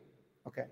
Allora, siccome è noiosissimo e comunque cala il peso drasticamente, cioè devi andare molto più, devi avere pesi molto più bassi perché quando ti muovi lento, cazzo, il peso diventa molto più pesante la percezione. E allora c'era chi lo faceva misto, faceva tipo, doveva fare 10 colpi, faceva i primi due colpi veloci, i tre centrali, eh, o sì, i primi tre colpi veloci, i tre centrali lenti e poi gli ultimi tre o gli ultimi tre, quattro, insomma, veloci. C'era sto ibrido perché appunto diventa noiosissimo allenarsi tutto in time under tension. Poi c'è stato il momento in cui si faceva fare il time under tension ai principianti. Eh, non sai fare il movimento, lo devi fare piano, devi imparare il movimento, quello che ci sta anche, no? Come incipit ci sta. Comunque, senza fare un simposio sul time under tension, per l'ipertrofia la cadenza è questa qua, 3-0x0. 3 è i, i secondi, in teoria, in cui io faccio la fase, di, eh, la fase eccentrica, che è quella dove carico il peso, adesso nel caso dello squat è mentre scendo, nel caso della panca è mentre arrivo al petto, nel caso del pull up è quando scendo giù, cioè quando solo io devo resistere al peso che tanto comunque va per conto suo. Sto, fe- sto fermo zero in fase in fondo o in fase di massima contrazione e X di esplosivo e faccio esplosiva la fase di contrazione. Quindi il ragionamento è, che esercizio sto facendo? Carl per bicipiti. Qual è la contrazione nei bicipiti? Quando piego, perfetto, allora piego esplosivo, zero tempo stare qua, vado giù lento, uno, due, tre, sto zero tempo sotto, esplosivo. Esplosivo, lento, indietro. Esplosivo, lento, indietro. Tricipiti. Esplosivo, lento, rientro. E avanti così. Questo è il tempo migliore eh, per gestire la ripetizione per quanto riguarda il discorso dell'ipertrofia. Tutto qui? Allora, questa è la piramide di Ellis questi sono gli ingredienti che servono per gestire in maniera perfetta un percorso di ipertrofia. E la monofrequenza? Qualcuno mi dirà. Non hai parlato della monofrequenza, mi dica qualcuno prima ha fatto la domanda. Qui ho fatto tutta una bella fila di culturisti degli anni Ottanta, ok? Questi erano tutti i culturisti Mister Olimpia degli anni 80. Tutta sta gente qua si allenava in monofrequenza. Allora voi direte, ma come? Erano enormi? Allora va bene la monofrequenza. Torniamo al solito discorso. I muscoli non sanno cos'è monofrequenza. E la monofrequenza si siamo inventata noi. Monofrequenza vuol dire alleni i muscoli una volta alla settimana. Perché? Eh, perché se li alleni due volte alla settimana si bruciano. Si diceva una volta. Eh, perché dopo si bruciano, non, non, non tengono la massa. Che cagata mostruosa. Il corpo non lo sa. Si faceva la monofrequenza perché si divideva il corpo per muscoli, cioè in parti, no? Petto, spalle, tricipiti, dorsali, bicipiti, non so, femorali, gambe, inteso quadricipiti, polpacci, addominali si faceva. E, o, e, si divideva, ognuno aveva il modo suo. C'è chi faceva gli antagonisti, c'è chi faceva la parte sopra, c'è la parte sotto, ognuno aveva la sua.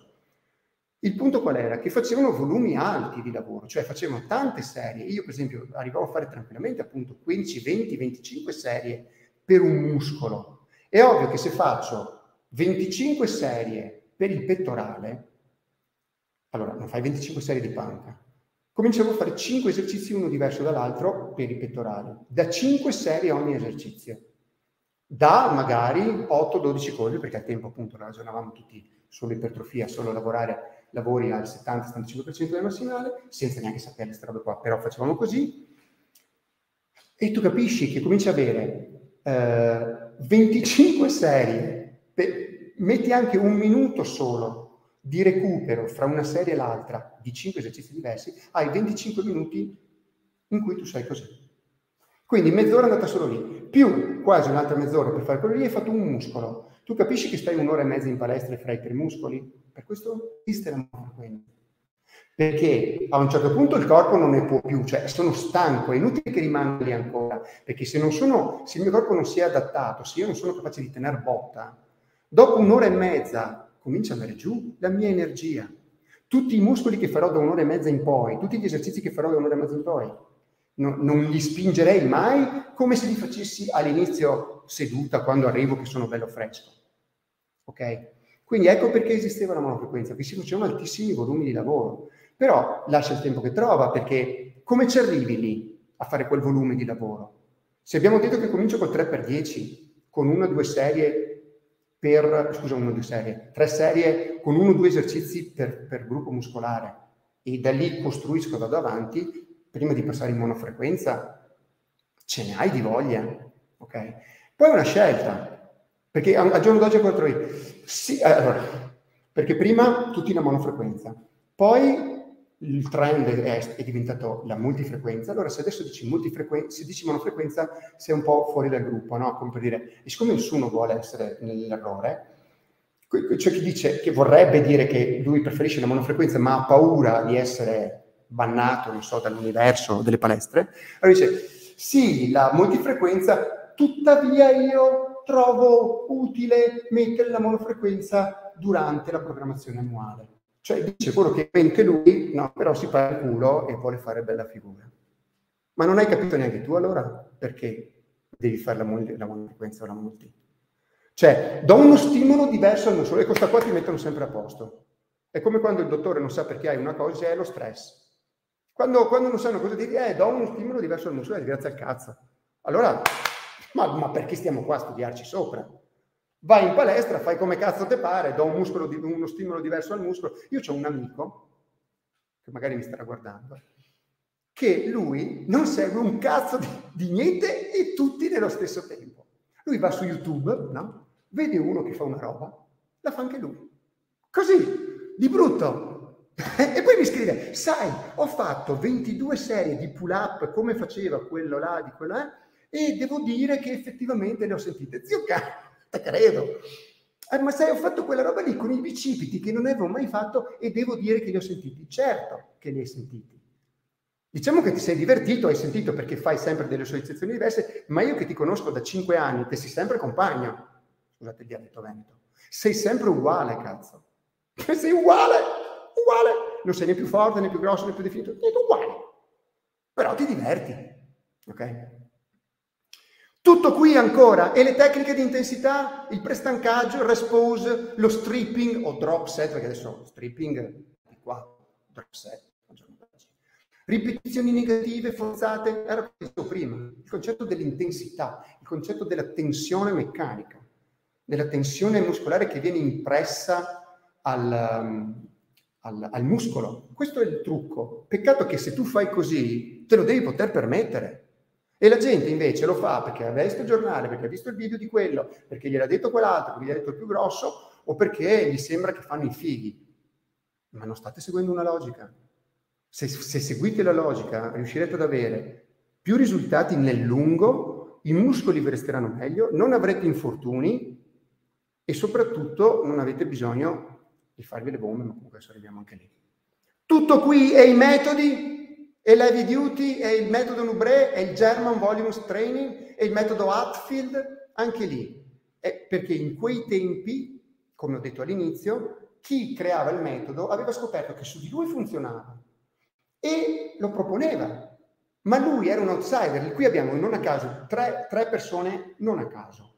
Quello sotto è Mike Menzer, heavy duty, quindi allenamenti intensissimi, poche ripetizioni, con mille tecniche di intensità Serge Nubre che faceva 25 ripetizioni di pettorali, ok, de panca, e, e una marea di, di, di serie, 25-30 serie per le gambe, e l'altro è Hatfield, che è un powerlifter famosissimo è stato, ok?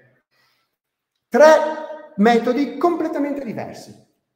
Ho conosciuto decine di persone, ho allenato io persone usando tutti questi metodi qua, mi sono allenato io usando questi metodi qua. Ok? Che cosa mi sono portato a casa che non avevi capito se avevi trovato il bandolo della matassa oppure no. Lo facevi perché ti piaceva, lo facevi perché ci credevi, lo facevi perché volevi vedere dove portava, ma no perché avevi capito che è come funzionava la storia. Addirittura come facevamo il sistema di Atfield, noi avevamo, facevamo delle cazzate in mano, mi ricordo. Perché facevamo eh, l'avevamo, interpretato, cioè, l'avevamo interpretato in una maniera sbagliata. Lui dice devi, perché lui parlava beh, di dividere adesso, anche, mi metto a parlare del sistema di Atfield adesso. Però anche quello, devi capire come interpretarlo. Bene, tutto, quindi è tutto, si, si fa tutto alla tensione muscolare. Ma la percezione della fatica e l'adattamento neurogeno e l'adattamento tendineo e le mifibrille e il sarcoplasma e i mitocondri. Queste sono le domande che si fanno uh, chi ha voglia di capire, ok? Se no, uno si ferma lì. La percezione della fatica è data da chi sei tu. Se tu sei uno abituato a sputare sangue sopra pesi pesantissimi, la tua percezione della fatica è diversa dalla signora Maria che arriva in palestra o dal principiante che non ha neanche mai messo il bilanciere sulle spalle e quando solo che sente il bilanciere qui sotto la settima cervicale dice, oh, madonna mia, sento, eh, no, no, ma mi fa male non so se vi sia mai successo, a me mi succede.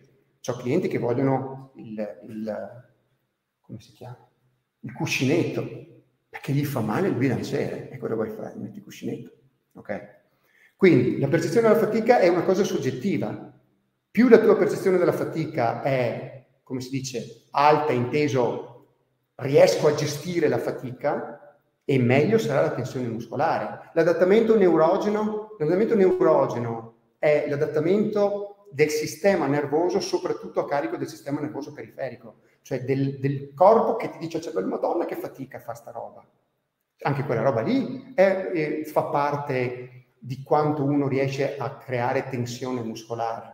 Perché se prendi una persona che non è abituata a spingere, quando il peso comincia a diventare faticoso, mette giù, cazzo non ce la faccio più. Come non ce la fai più? No, non ce la facevo più. Perché non hai spinto niente. Cioè fino, fino adesso andavi perché sì, perché era ampiamente nelle tue capacità. Ma io non ho mai visto solo... Quando io, quando io gli bestemmio dietro, le donne fanno degli urli, però dopo sono contente. Ah, però sai, c'ho il culo solo, eh, ma che cazzo. Però hai anche tirato su 100 kg di squat. L'adattamento tendine è una cosa che la gente Oh, i, te- i, tendini, giusto cazzo, sono anche i tendini. Cioè, ci sono i tendini. I tendini hanno un adattamento un po' più lento rispetto al muscolo. Vanno allenati anche i tendini. I tendini si allenano sia col time under tension, per esempio, e sia facendo allenamento con carichi pesanti. È importante anche quello. E il sarcoplasma e le miofibrille mitocondri sono parti della cellula. Adesso anche qui potremmo stare qui. Ma queste sono domande che io ho messo qui dentro per farvi capire che la tensione muscolare è un insieme di tutte queste robe qua. Okay? Le miofibrille, diciamo, sono più reclutate con carichi pesanti, sull'80%. Il sarcoplasma eh, viene più preso in, in ballo con carichi medi, i mitocondri con carichi leggeri, ma tuttavia anche con carichi leggeri io comunque attivo anche le miofibrille. Bisogna stare attenti a ragionare a comparti stagni. Okay? Comunque il corpo si mette tutto in moto, è che ovviamente se faccio un tipo di allenamento, un tipo di sollecitazione, lui si adatta e si trasforma, si plasma esteticamente in una certa maniera anziché in una certa altra e questo è per il motivo per cui il powerlifter è molto forte ma non ha i volumi no? appunto perché non, il sarcoplasma non è, non è eh, attivato, diciamo, è sviluppato nel powerlift come lo è nel culturista. E lo stesso vale a dire per i mitocondri, potrei dire il maratoneta contro il centometrista. Il centometrista ha molte più miofibrille nelle sue cellule muscolari rispetto al maratoneta che ha molti più mitocondri. Quanti chili posso crescere? Questa è un'altra cosa che penso che interessi a un po' a tutti, insomma. Qui io ovviamente sono l'ultimo arrivato, eh, posso semplicemente confermare in base ai miei 40 anni di esperienza quello che ho visto in base a quello che due persone, eh, due studiosi americani, due appassionati di bodybuilding, due guru, uno è Aragon e l'altro è McDonald, no, quello dei panini, McDonald, Lyle, Lille, Lyle McDonald che il primo dice, eh, il primo anno che ti alleni puoi prendere fino a 10 kg, attenzione, puoi prendere fino a 10 kg, ma ne prendi due, perché sei sfigato, sfigato, non sei sfigato, nessuno è sfigato, perché non sei dotato geneticamente o perché non hai capito come ti alleni, ok? Può essere però che puoi prendere fino a 10 kg. Eh, l'altro invece dice si prende l'1-1,5% del, del peso corporeo, quindi al mese. Quindi facciamo un principiante, pesa 60 kg, potrebbe pesare 70 kg dopo un anno, quindi hai preso un chilo al mese, e l'altro dice prendi l'1% del tuo peso corporeo, quindi 7 etti, in 12 mesi, vedi che sono lo stesso 8 kg e mezzo. Quindi tutti e due, partendo da concetti diversi, poi alla fine si portano alla stessa realtà. Io che ho visto da 40 anni gente che si allena, posso confermare che queste ehm, affermazioni sono attendibili. Questo vale per i principianti. Eh? Invece per gli intermedi si cala, si passa a, mi ingrandisco un attimo, si passa a 5 kg, già, 10 kg primo anno, 5 kg secondo già calmino, però sarebbero già 15 kg, ridendo scherzando, in due anni, per assurdo. Questi sono veramente pochi, ma sono anche veramente pochi quelli che si sanno allenare come comando e da 0,5 a 1 del peso, del, del peso corporeo e invece gli avanzati, gli avanzati eh, massimo da 3 kg o 0. Ok, uno come me sono avanzato 0. In realtà io adesso posso prendere chili perché ho perduto tanti chili con l'operazione, 15 kg, quindi ci sta che il mio muscolo è svuotato no? e si riempie di glicogeno, il glicogeno pesa quindi sulla bilancia io, il mio peso era 98, 100, su per giù, sono là, sono calato a 5, adesso sono 92,5, ma è auspicabile che io tornerò a 98 perché ero già là. Okay. Un altro della mia età che fosse operato al cuore come me tornerebbe come era prima, ma non, non è che. Poi c'è il discorso dell'alimentazione, però stasera ci fermiamo con l'allenamento perché sono un'ora e mezza che sto parlando e siete stati anche bravi a stare con me fino adesso. Ancora due o tre cose importanti, vi riapro questo perché è una cosa che penso che vi interessi a tutti. Che cosa cambia col doping? Allora, intanto che cos'è il doping, giusto perché ce l'abbiamo tutti chiari. C'è scritto assunzione volontaria di farmaci o di sostanze proibite dal Comitato Internazionale Olimpico o la sottoposizione a pratiche mediche non giustificate da condizioni patologiche e idonee a modificare le condizioni psicofisiche e biologiche dell'organismo. Quindi sono farmaci con effetti collaterali che appunto alterano e eh, in questo caso rinforzano. Infatti perché si fa il doping? Sostanzialmente per accorciare i tempi del risultato. Okay? Se da natura ci metto un anno a prendere 10 kg da, da principiante, col, col, col, col doping ci metto due mesi, per dire. E per andare oltre le umane possibilità, cioè io riesco ad avere dei volumi che l'umano non può avere divento Hulk, grosso come Hulk, però sappiamo che Hulk è un fumetto, oppure appunto un culturista che fa uso di doping. Come agisce il doping nel corpo? Ottimizza la sintesi proteica e il metabolismo, provocando un senso di sicurezza e di forza, diminuisce la percezione della fatica, vedete che ci ritorniamo a quello che ho detto prima, cioè un senso di sicurezza e di forza e diminuisce la percezione della fatica, significa che io che mi bombo e tu che non ti bombi, andiamo a fare lo squat con un peso pesante, la mia sensazione di sicurezza e di forza e la mia diminuzione di percezione della fatica, perché quando c'è da spingere, cazzo, spingo, vaffanculo, spacco tutto. E tu invece dici, zio can, aspetta un attimo, anche qua. Cioè, roba, è, è un approccio diverso, ok? Quindi dà anche una impostazione psicologica diversa oltre che, ripeto, ad ottimizzare la sintesi proteica, perché cioè, prima mangiavi in un certo modo, avevi un certo tipo di risposta. Poi mangi esattamente come prima, zio can, funziona tutto meglio. Il muscolo proprio lo vedi, è più pieno, più vivo, la vena è più alta, cioè cambi, ok? Eh, questo è quanto. Quindi questo permette di protrarre più a lungo lo sforzo e i principi fisiologici però rimangono gli stessi, però vengono ampliati, ok? Non è che vengono stravolti. Perciò vengono stravolti nel senso che vengono ampliati, non è che cambia. Perché il doping fa male, lo ricordiamo. Ah, premetto, queste cose qui le ho scritte perché le ho riscontrate nella mia esperienza. Okay?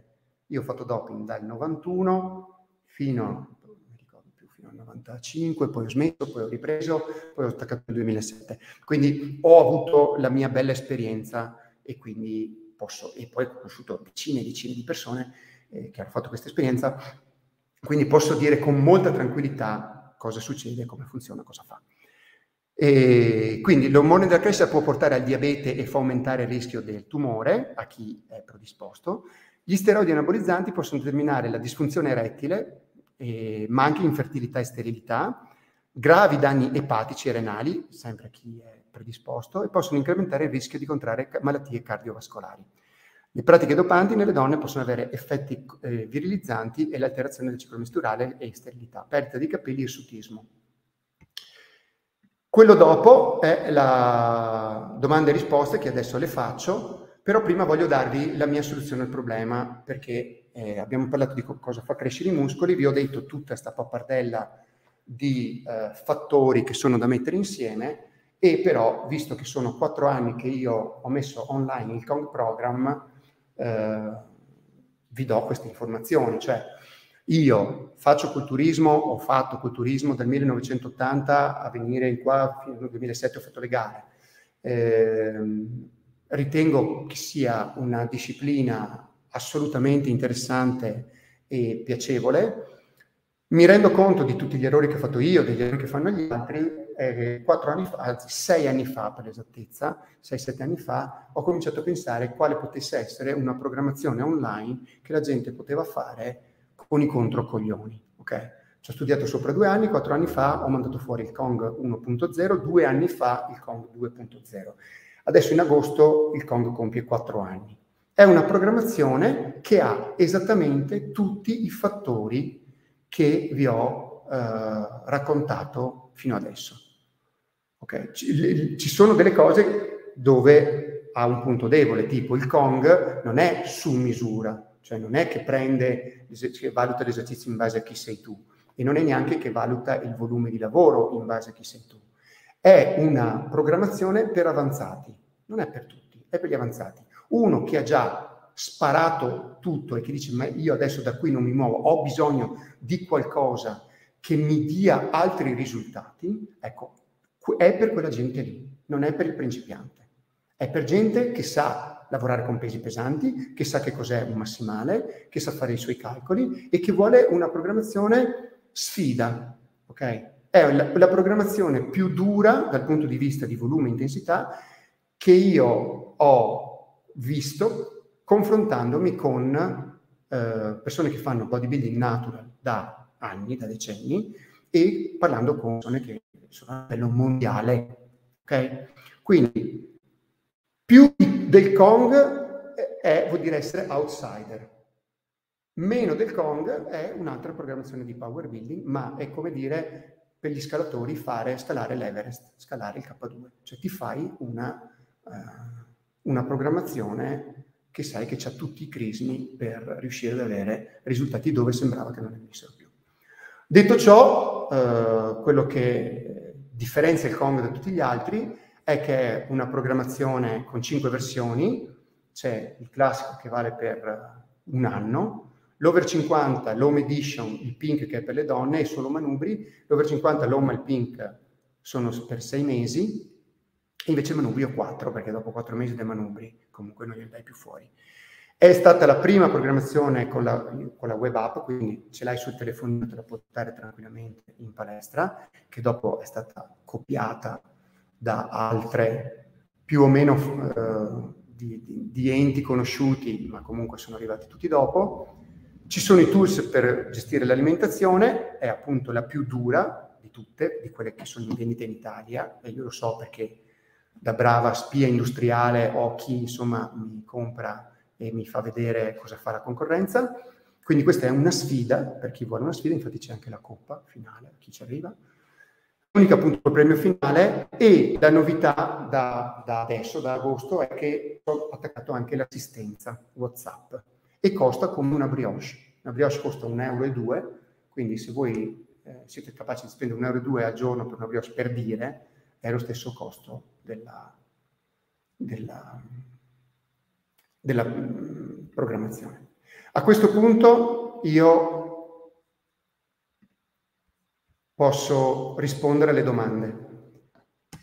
Se non vi addormentate, se non me ne andate prima. Allora, vediamo un po' dove eravamo arrivati. Intanto, eh, ditemi se vi è, se, se vi è tornata utile questa, questa maratona di, di diretta oppure no. Adesso eh, cavami una curiosità, di dove sei? Sono di Vicenza. Ciao Luigi, ho la tua stessa età e da un po' ho terminato la ricomposizione corporea, otti- ottenendo ottimi risultati. Ora per fatica, ora per fatica a prendere peso, questione di età, qualche consiglio? Grazie mille Fabio. Allora, l'età è la mia, quindi 58. Fai fatica a prendere peso? Beh, è presumibile, data l'età. Tuttavia non lo sai finché non provi.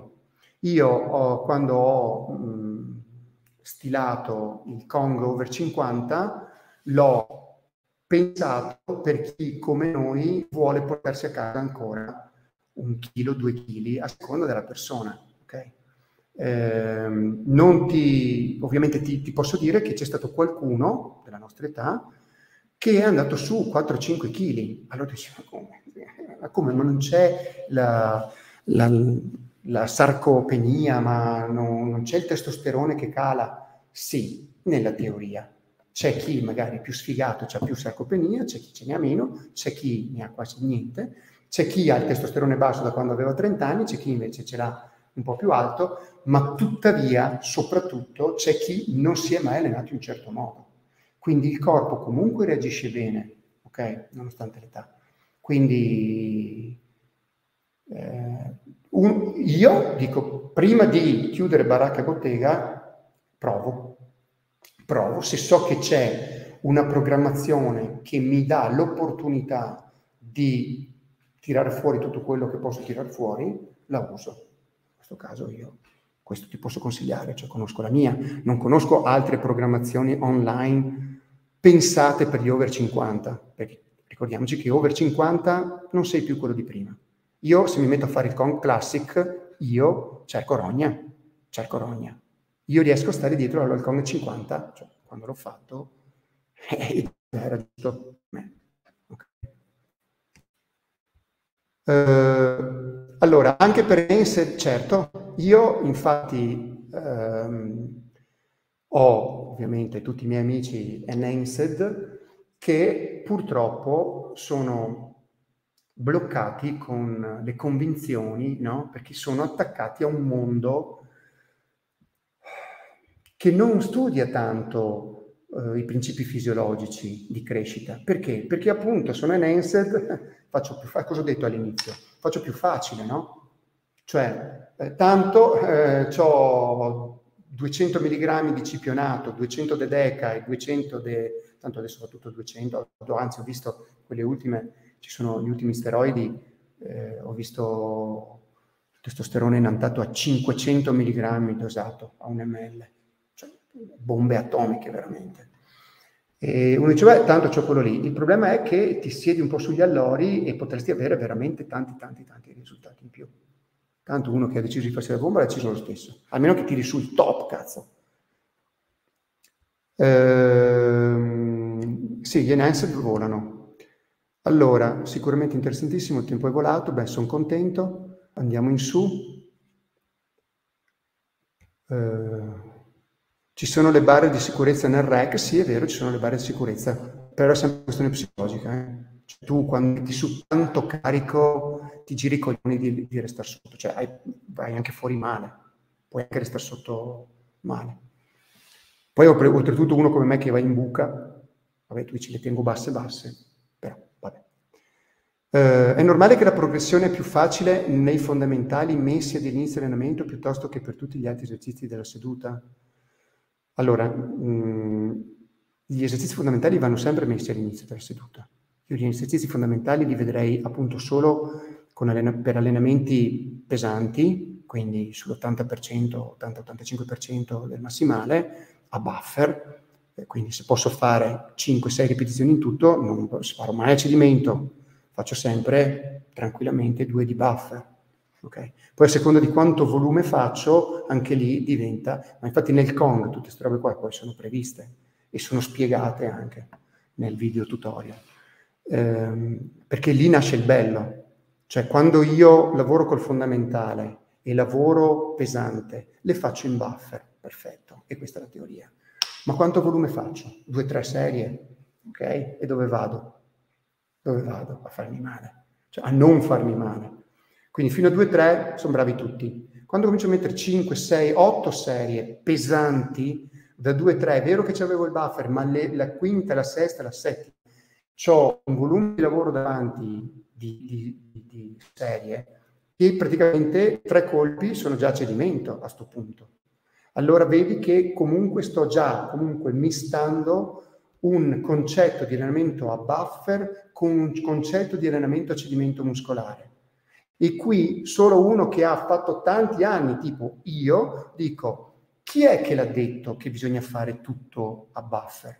Il buffer, lo dice la parola, è sicurezza per non farmi male, è sicurezza perché se no non miglioro, ma se su 7-8 serie ne faccio 5 a buffer una quasi a cedimento, le ultime due a cedimento, io ho comunque lavorato con la tensione muscolare, ho lavorato sia la parte, cioè ho dato una spinta neurogena, quindi ho quindi, eh, dato una sollecitazione anche tendinea, della forza neurale, neurogena e anche di tensione meccanica vera e propria, con pesone per una o due ripetizioni. Qui andiamo già a vedere, a spaccare il capello in quattro. È normale che la... Pro- no, l'ho già detto. Eh, se, quanto glucosio bisogna assumere prima dell'allenamento coi pesi per saturare al minimo i muscoli in definizione? allora, queste sono le domande nerd che valgono solo nella teoria. Tu pensa che se tu ti focalizzi sul, sul quanto glucosio bisogna assumere prima dell'allenamento con i pesi per saturare al minimo i muscoli in definizione. Allora, i muscoli in definizione cosa vuol dire? Che sei in ipocalorica, perché se sono in definizione sono in ipocalorica. Quindi io dovrei pensare al glucosio, che è la, la, la, la divisione, cioè quello che il corpo si tiene alla fine dei cibi che io metto dentro. Quindi io tengo conto dei macro e nei macro tengo conto dei carbo. Cosa devo fare? Devo assumere glucosio puro prima dell'allenamento. Ma quanto prima? Perché in quanto tempo il glucosio entra in circolo? Due minuti, cinque minuti, tre minuti, ma allora lo prendo prima di che cosa? Prima dell'allenamento e se poi lo squat faccio dopo 12 minuti, glucosio già andato. No, è ancora nel sangue. Ma chi me l'ha detto? Ah, ma perché sai, mi sono fatto il punturino con co cosa, ho guardato la, eh, la glicemia. Ah, e cosa te la guardi? Ogni minuto e mezzo? E se poi cala? Ma aspetta, ma se la, andata, se la glicemia non è andata su e quindi non ho glucosio nel sangue, cosa faccio? Aspetto di fare lo squat. Allora vado lì e dico, no scusa, aspetta, devo fare squat, però aspetta un attimo che adesso controllo la glicemia e ancora 45 secondi, cioè capisci? Cioè queste sono domande che vanno bene non neanche dove? Agli esami di chi? Nella, nella vita reale non ha senso, nella vita reale non ha senso. Cioè, uno che si vuole allenare bene, si vuole allenare bene, uno che vuole diventare matto con i calcoli prima di allenarsi, fa, fa una domanda così, ma non, non voglio offenderti, eh, nel senso, eh, voglio ragionare con te, voglio farti ragionare su cosa ha senso e cosa diventa assurdo, capito? Questo concetto. Allora, secondo te sarà meglio fare lo squat scalzo o con le five fingers o con una sneakers? O, ma sarà meglio il pavimento, quello eh, che, che, fanno adesso a quadratoni, o una pedana da stacco? Capisci? Stiamo parlando di robe, ragazzi miei. Eh, è normale, eh, no, questo l'abbiamo già detto, l'abbiamo già detto. Puoi approfondire se sai qualcosa, Mike Menzer ci era o ci faceva, molti dicono che parlava così, ma realmente si allenava con molto più frequenza, bodybuilder preferito Dorian Yates. Sì, Mike Menzel in realtà si allenava più di quello che diceva. È che aveva buttato fuori questo sistema heavy duty eh, dove diceva che bisognava allenarsi poco e siccome già al tempo c'era gente che non voleva fare un cazzo, lui aveva capito che si diceva allenati poco, prendeva tutto un target di persone e diceva no, adesso basta allenarsi poco. Okay. Io ho un amico che porta in giro questa cosa qua, non, non, faccio il nome perché non voglio fare però lui è convinto, cioè lui dice Veramente i tutti lo possono fare tutti, ma come lo possono fare tutti? Veramente ai tutti devi essere uno avanzato. Ci siamo conosciuti in palestra, faccio allenamenti focalizzati sulla forza, sono dimagrito di 5 kg, ma alzo gli stessi pesi di prima. Ottimo, ma è normale? Eh sì, felice. Sì, perché? Cioè, vuol dire che l'energia che hai, cioè hai una capacità neurale di spingere sul... e vuol dire che il carico è anche tua portata, insomma. Ci sono persone che diventano addirittura più forti in un periodo di definizione quando perdono chili, ma lì dovremmo stare qua a parlare due ore. Attualmente sto lavorando sul full body tre volte, la prima con esercizi in 5x5, la seconda sedute con 8-10 e la terza settimana con... Ecco, questo che fai tu Alessandro, ti metto in vista, questo che fai tu è una interpretazione del metodo Hatfield, ok? 5x5 stai allenando stai facendo un certo tipo di sollecitazione, 8 per 10 è un altro tipo di sollecitazione e fine eh, esercizi ad alte ripetizioni è un'altra sollecitazione. È meglio farle a sessioni divise? Nella mia esperienza no. Nella, però non ho la verità cosmica, eh. Ti dico nella mia esperienza. Nella mia esperienza preferisco includerle tutte dentro stessa sessione. Allora, come vedi invece un approccio in cui si periodizza lo stimolo,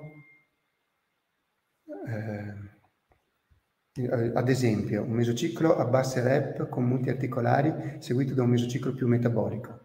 Anche questo è sempre il discorso che ho, è sempre la stessa storia che gira. Gli ingredienti sono quelli e poi uno si fa il suo minestrone, ok? Ai tempi miei, agli inizi, mi ricordo che noi facevamo così, da gennaio a marzo si faceva forza, poi da marzo a giugno si faceva ipertrofia e da giugno fino a luglio, perché dopo agosto le palestre erano chiuse, si faceva la definizione. Ti rendi conto? Cioè, nella nostra ignoranza ci immaginavamo che per tre mesi miglioravamo la forza, che ci stava anche. 12 settimane, no? Un programmino di, di forza ci sta e le migliori. Dopodiché basta forza, ipertrofia. Così, certo, davi uno stimolo meccanico, c'era, ma, ma quale ipertrofia potevi avere? Due o tre mesi. Quale ipertrofia potevi avere? Sì, un chilo, due, sempre no, in un mondo perfetto. Nel frattempo perdevi la forza perché non la allenavi più, non la mantenevi, no? Dopodiché definizione, due mesi. Allora, uno che era già più o meno in ordine, in due mesi entrava in ordine, cioè avevo 11 anni, già, arrivavo dalle arti marziali, dove era il mio problema? Avevo gli addominali fuori prima e dopo, ok? Però persone che vogliono migliorare veramente la forza, o fanno sei mesi di forza e poi cercano di mantenerla inserendo anche la parte di allenamento di ipertrofia, quindi di tensione meccanica, e quando fanno la definizione continuano a fare forza e ipertrofia. E questa la, la, la scoperta dell'acqua calda, che noi quando facevamo la definizione pensavamo che bisognava fare il, mesociclo metabolico, o, o come, sì, come chiami tu metabolico, o mitocondriale, o adesso gli nomi che vuoi. No? 15-20 ripetizioni era l'allenamento per la definizione. Col seno di poi ci siamo resi conto che era una parte della giostra e non tutta la giostra.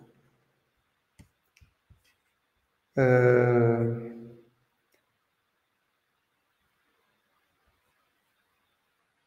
Le isometrie sono utili se lo scopo è l'ipertrofia, questo è molto interessante.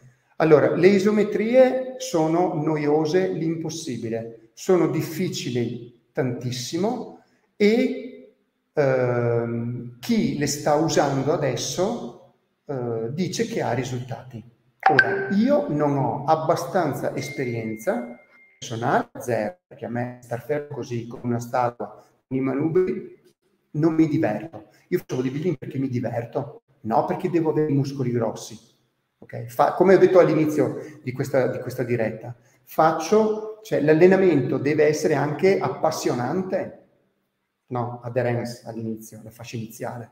L'allenamento deve farti venire voglia di andare in palestra. Scusa, ma secondo te io vado in palestra e mi metto in squat fermo, vuoi squat oppure col bilanciere fermo così a metà come un cretino. La gente mi guarda, stai bene? capito? Cioè, non, non, mi sentirei, a parte che non si può allenare a casa sua, ma mi sentirei strano, non mi diverte, non mi piace. Ma, l'isometria fa venire i muscoli, ma anche come sto facendo io sta venire, fa, fa venire i muscoli. Se fosse una cosa stravolgente, che ci sai, ho 44 di braccio, voglio avere 52, fai le isometriche, fra sei mesi sei con 52, mm, forse ci penso, ma siccome non è così, ok? Quindi sono utili a scopo di ipertrofia. La teoria dice di sì. Chi sta provando dice di sì, ma io ho visto nel corso dei decenni che tutte le cose nuove, gli entusiasti che sono i primi che provano, ho avuto chi ti dica di no.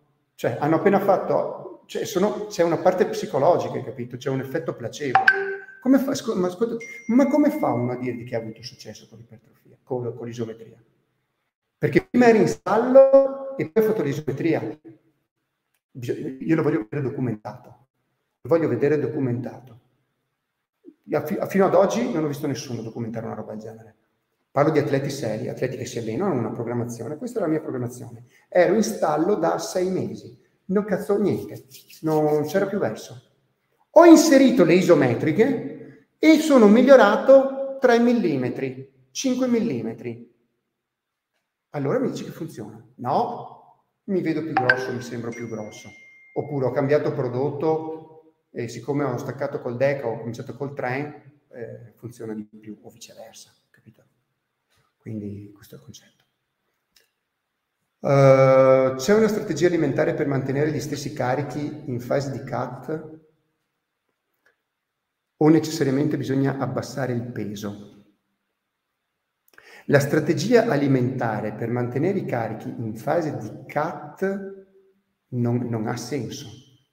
Cioè io non ho nessun interesse, cioè, aspetta, riformulo. Io cerco ovviamente di tenere i carichi che posso, ma il, il concetto predominante è che io devo definirmi. Quindi io quello, quello che interessa a me è perdere grasso. Se riesco a tenere i pesi, meglio. Se non riesco a tenere i pesi, non li tengo. E la strategia alimentare per mantenere i pesi dovrebbe essere quella, mangio di più. Non è che se mangio, se cambio la percentuale dei macronutrienti divento più forte. Cioè sono, che ne so, a 1800 calorie, che, che è già bassissimo per un uomo, in definizione, e sono a 2 grammi di proteine, e vado a 2,2 a scapito dei, oppure vado a 1,8 di proteine per 2,2 di carboidrati, non è detto che sono più forti. Uno dice, ma nella teoria sì, perché hai, gli dai più glicogeno. Però è tutto da vedere, è sempre tutto da vedere nel soggetto. Quindi potrei dirti, potresti eh, togliere un po' di proteine e mettere carbo, tolgo 0,2 di proteine e aggiungo 0,2 di carbo, le calorie sono sempre quelle, ho cambiato i macro, gli ho dato più glicogeno, potrei essere più forte. È una prova. Ok, ragazzi, io direi che sono andate due ore. Vi ringrazio tantissimo perché siete stati con me fino alle 11 di sera. E spero che la cosa vi sia stata utile. Eh, la mia soluzione, come ho detto, a, alla, alla voglia di migliorare l'ipertrofia quando uno non viene da fuori è il Kong. Ricordatevi però che il Kong non è per tutti. Okay? L'avevo tolto dal mercato perché la gente lo comprava in maniera sconsiderata. Cioè, pensano che sia una programmazione per fare i muscoli. È una programmazione per fare i muscoli, ma una programmazione eh, seria, ok? Richiede un impegno e richiede soprattutto una consapevolezza con i pesi. Grazie ancora di essere stati con me e niente. Se avete proposte di altri argomenti che volete che tratto, sono a disposizione. Buonanotte.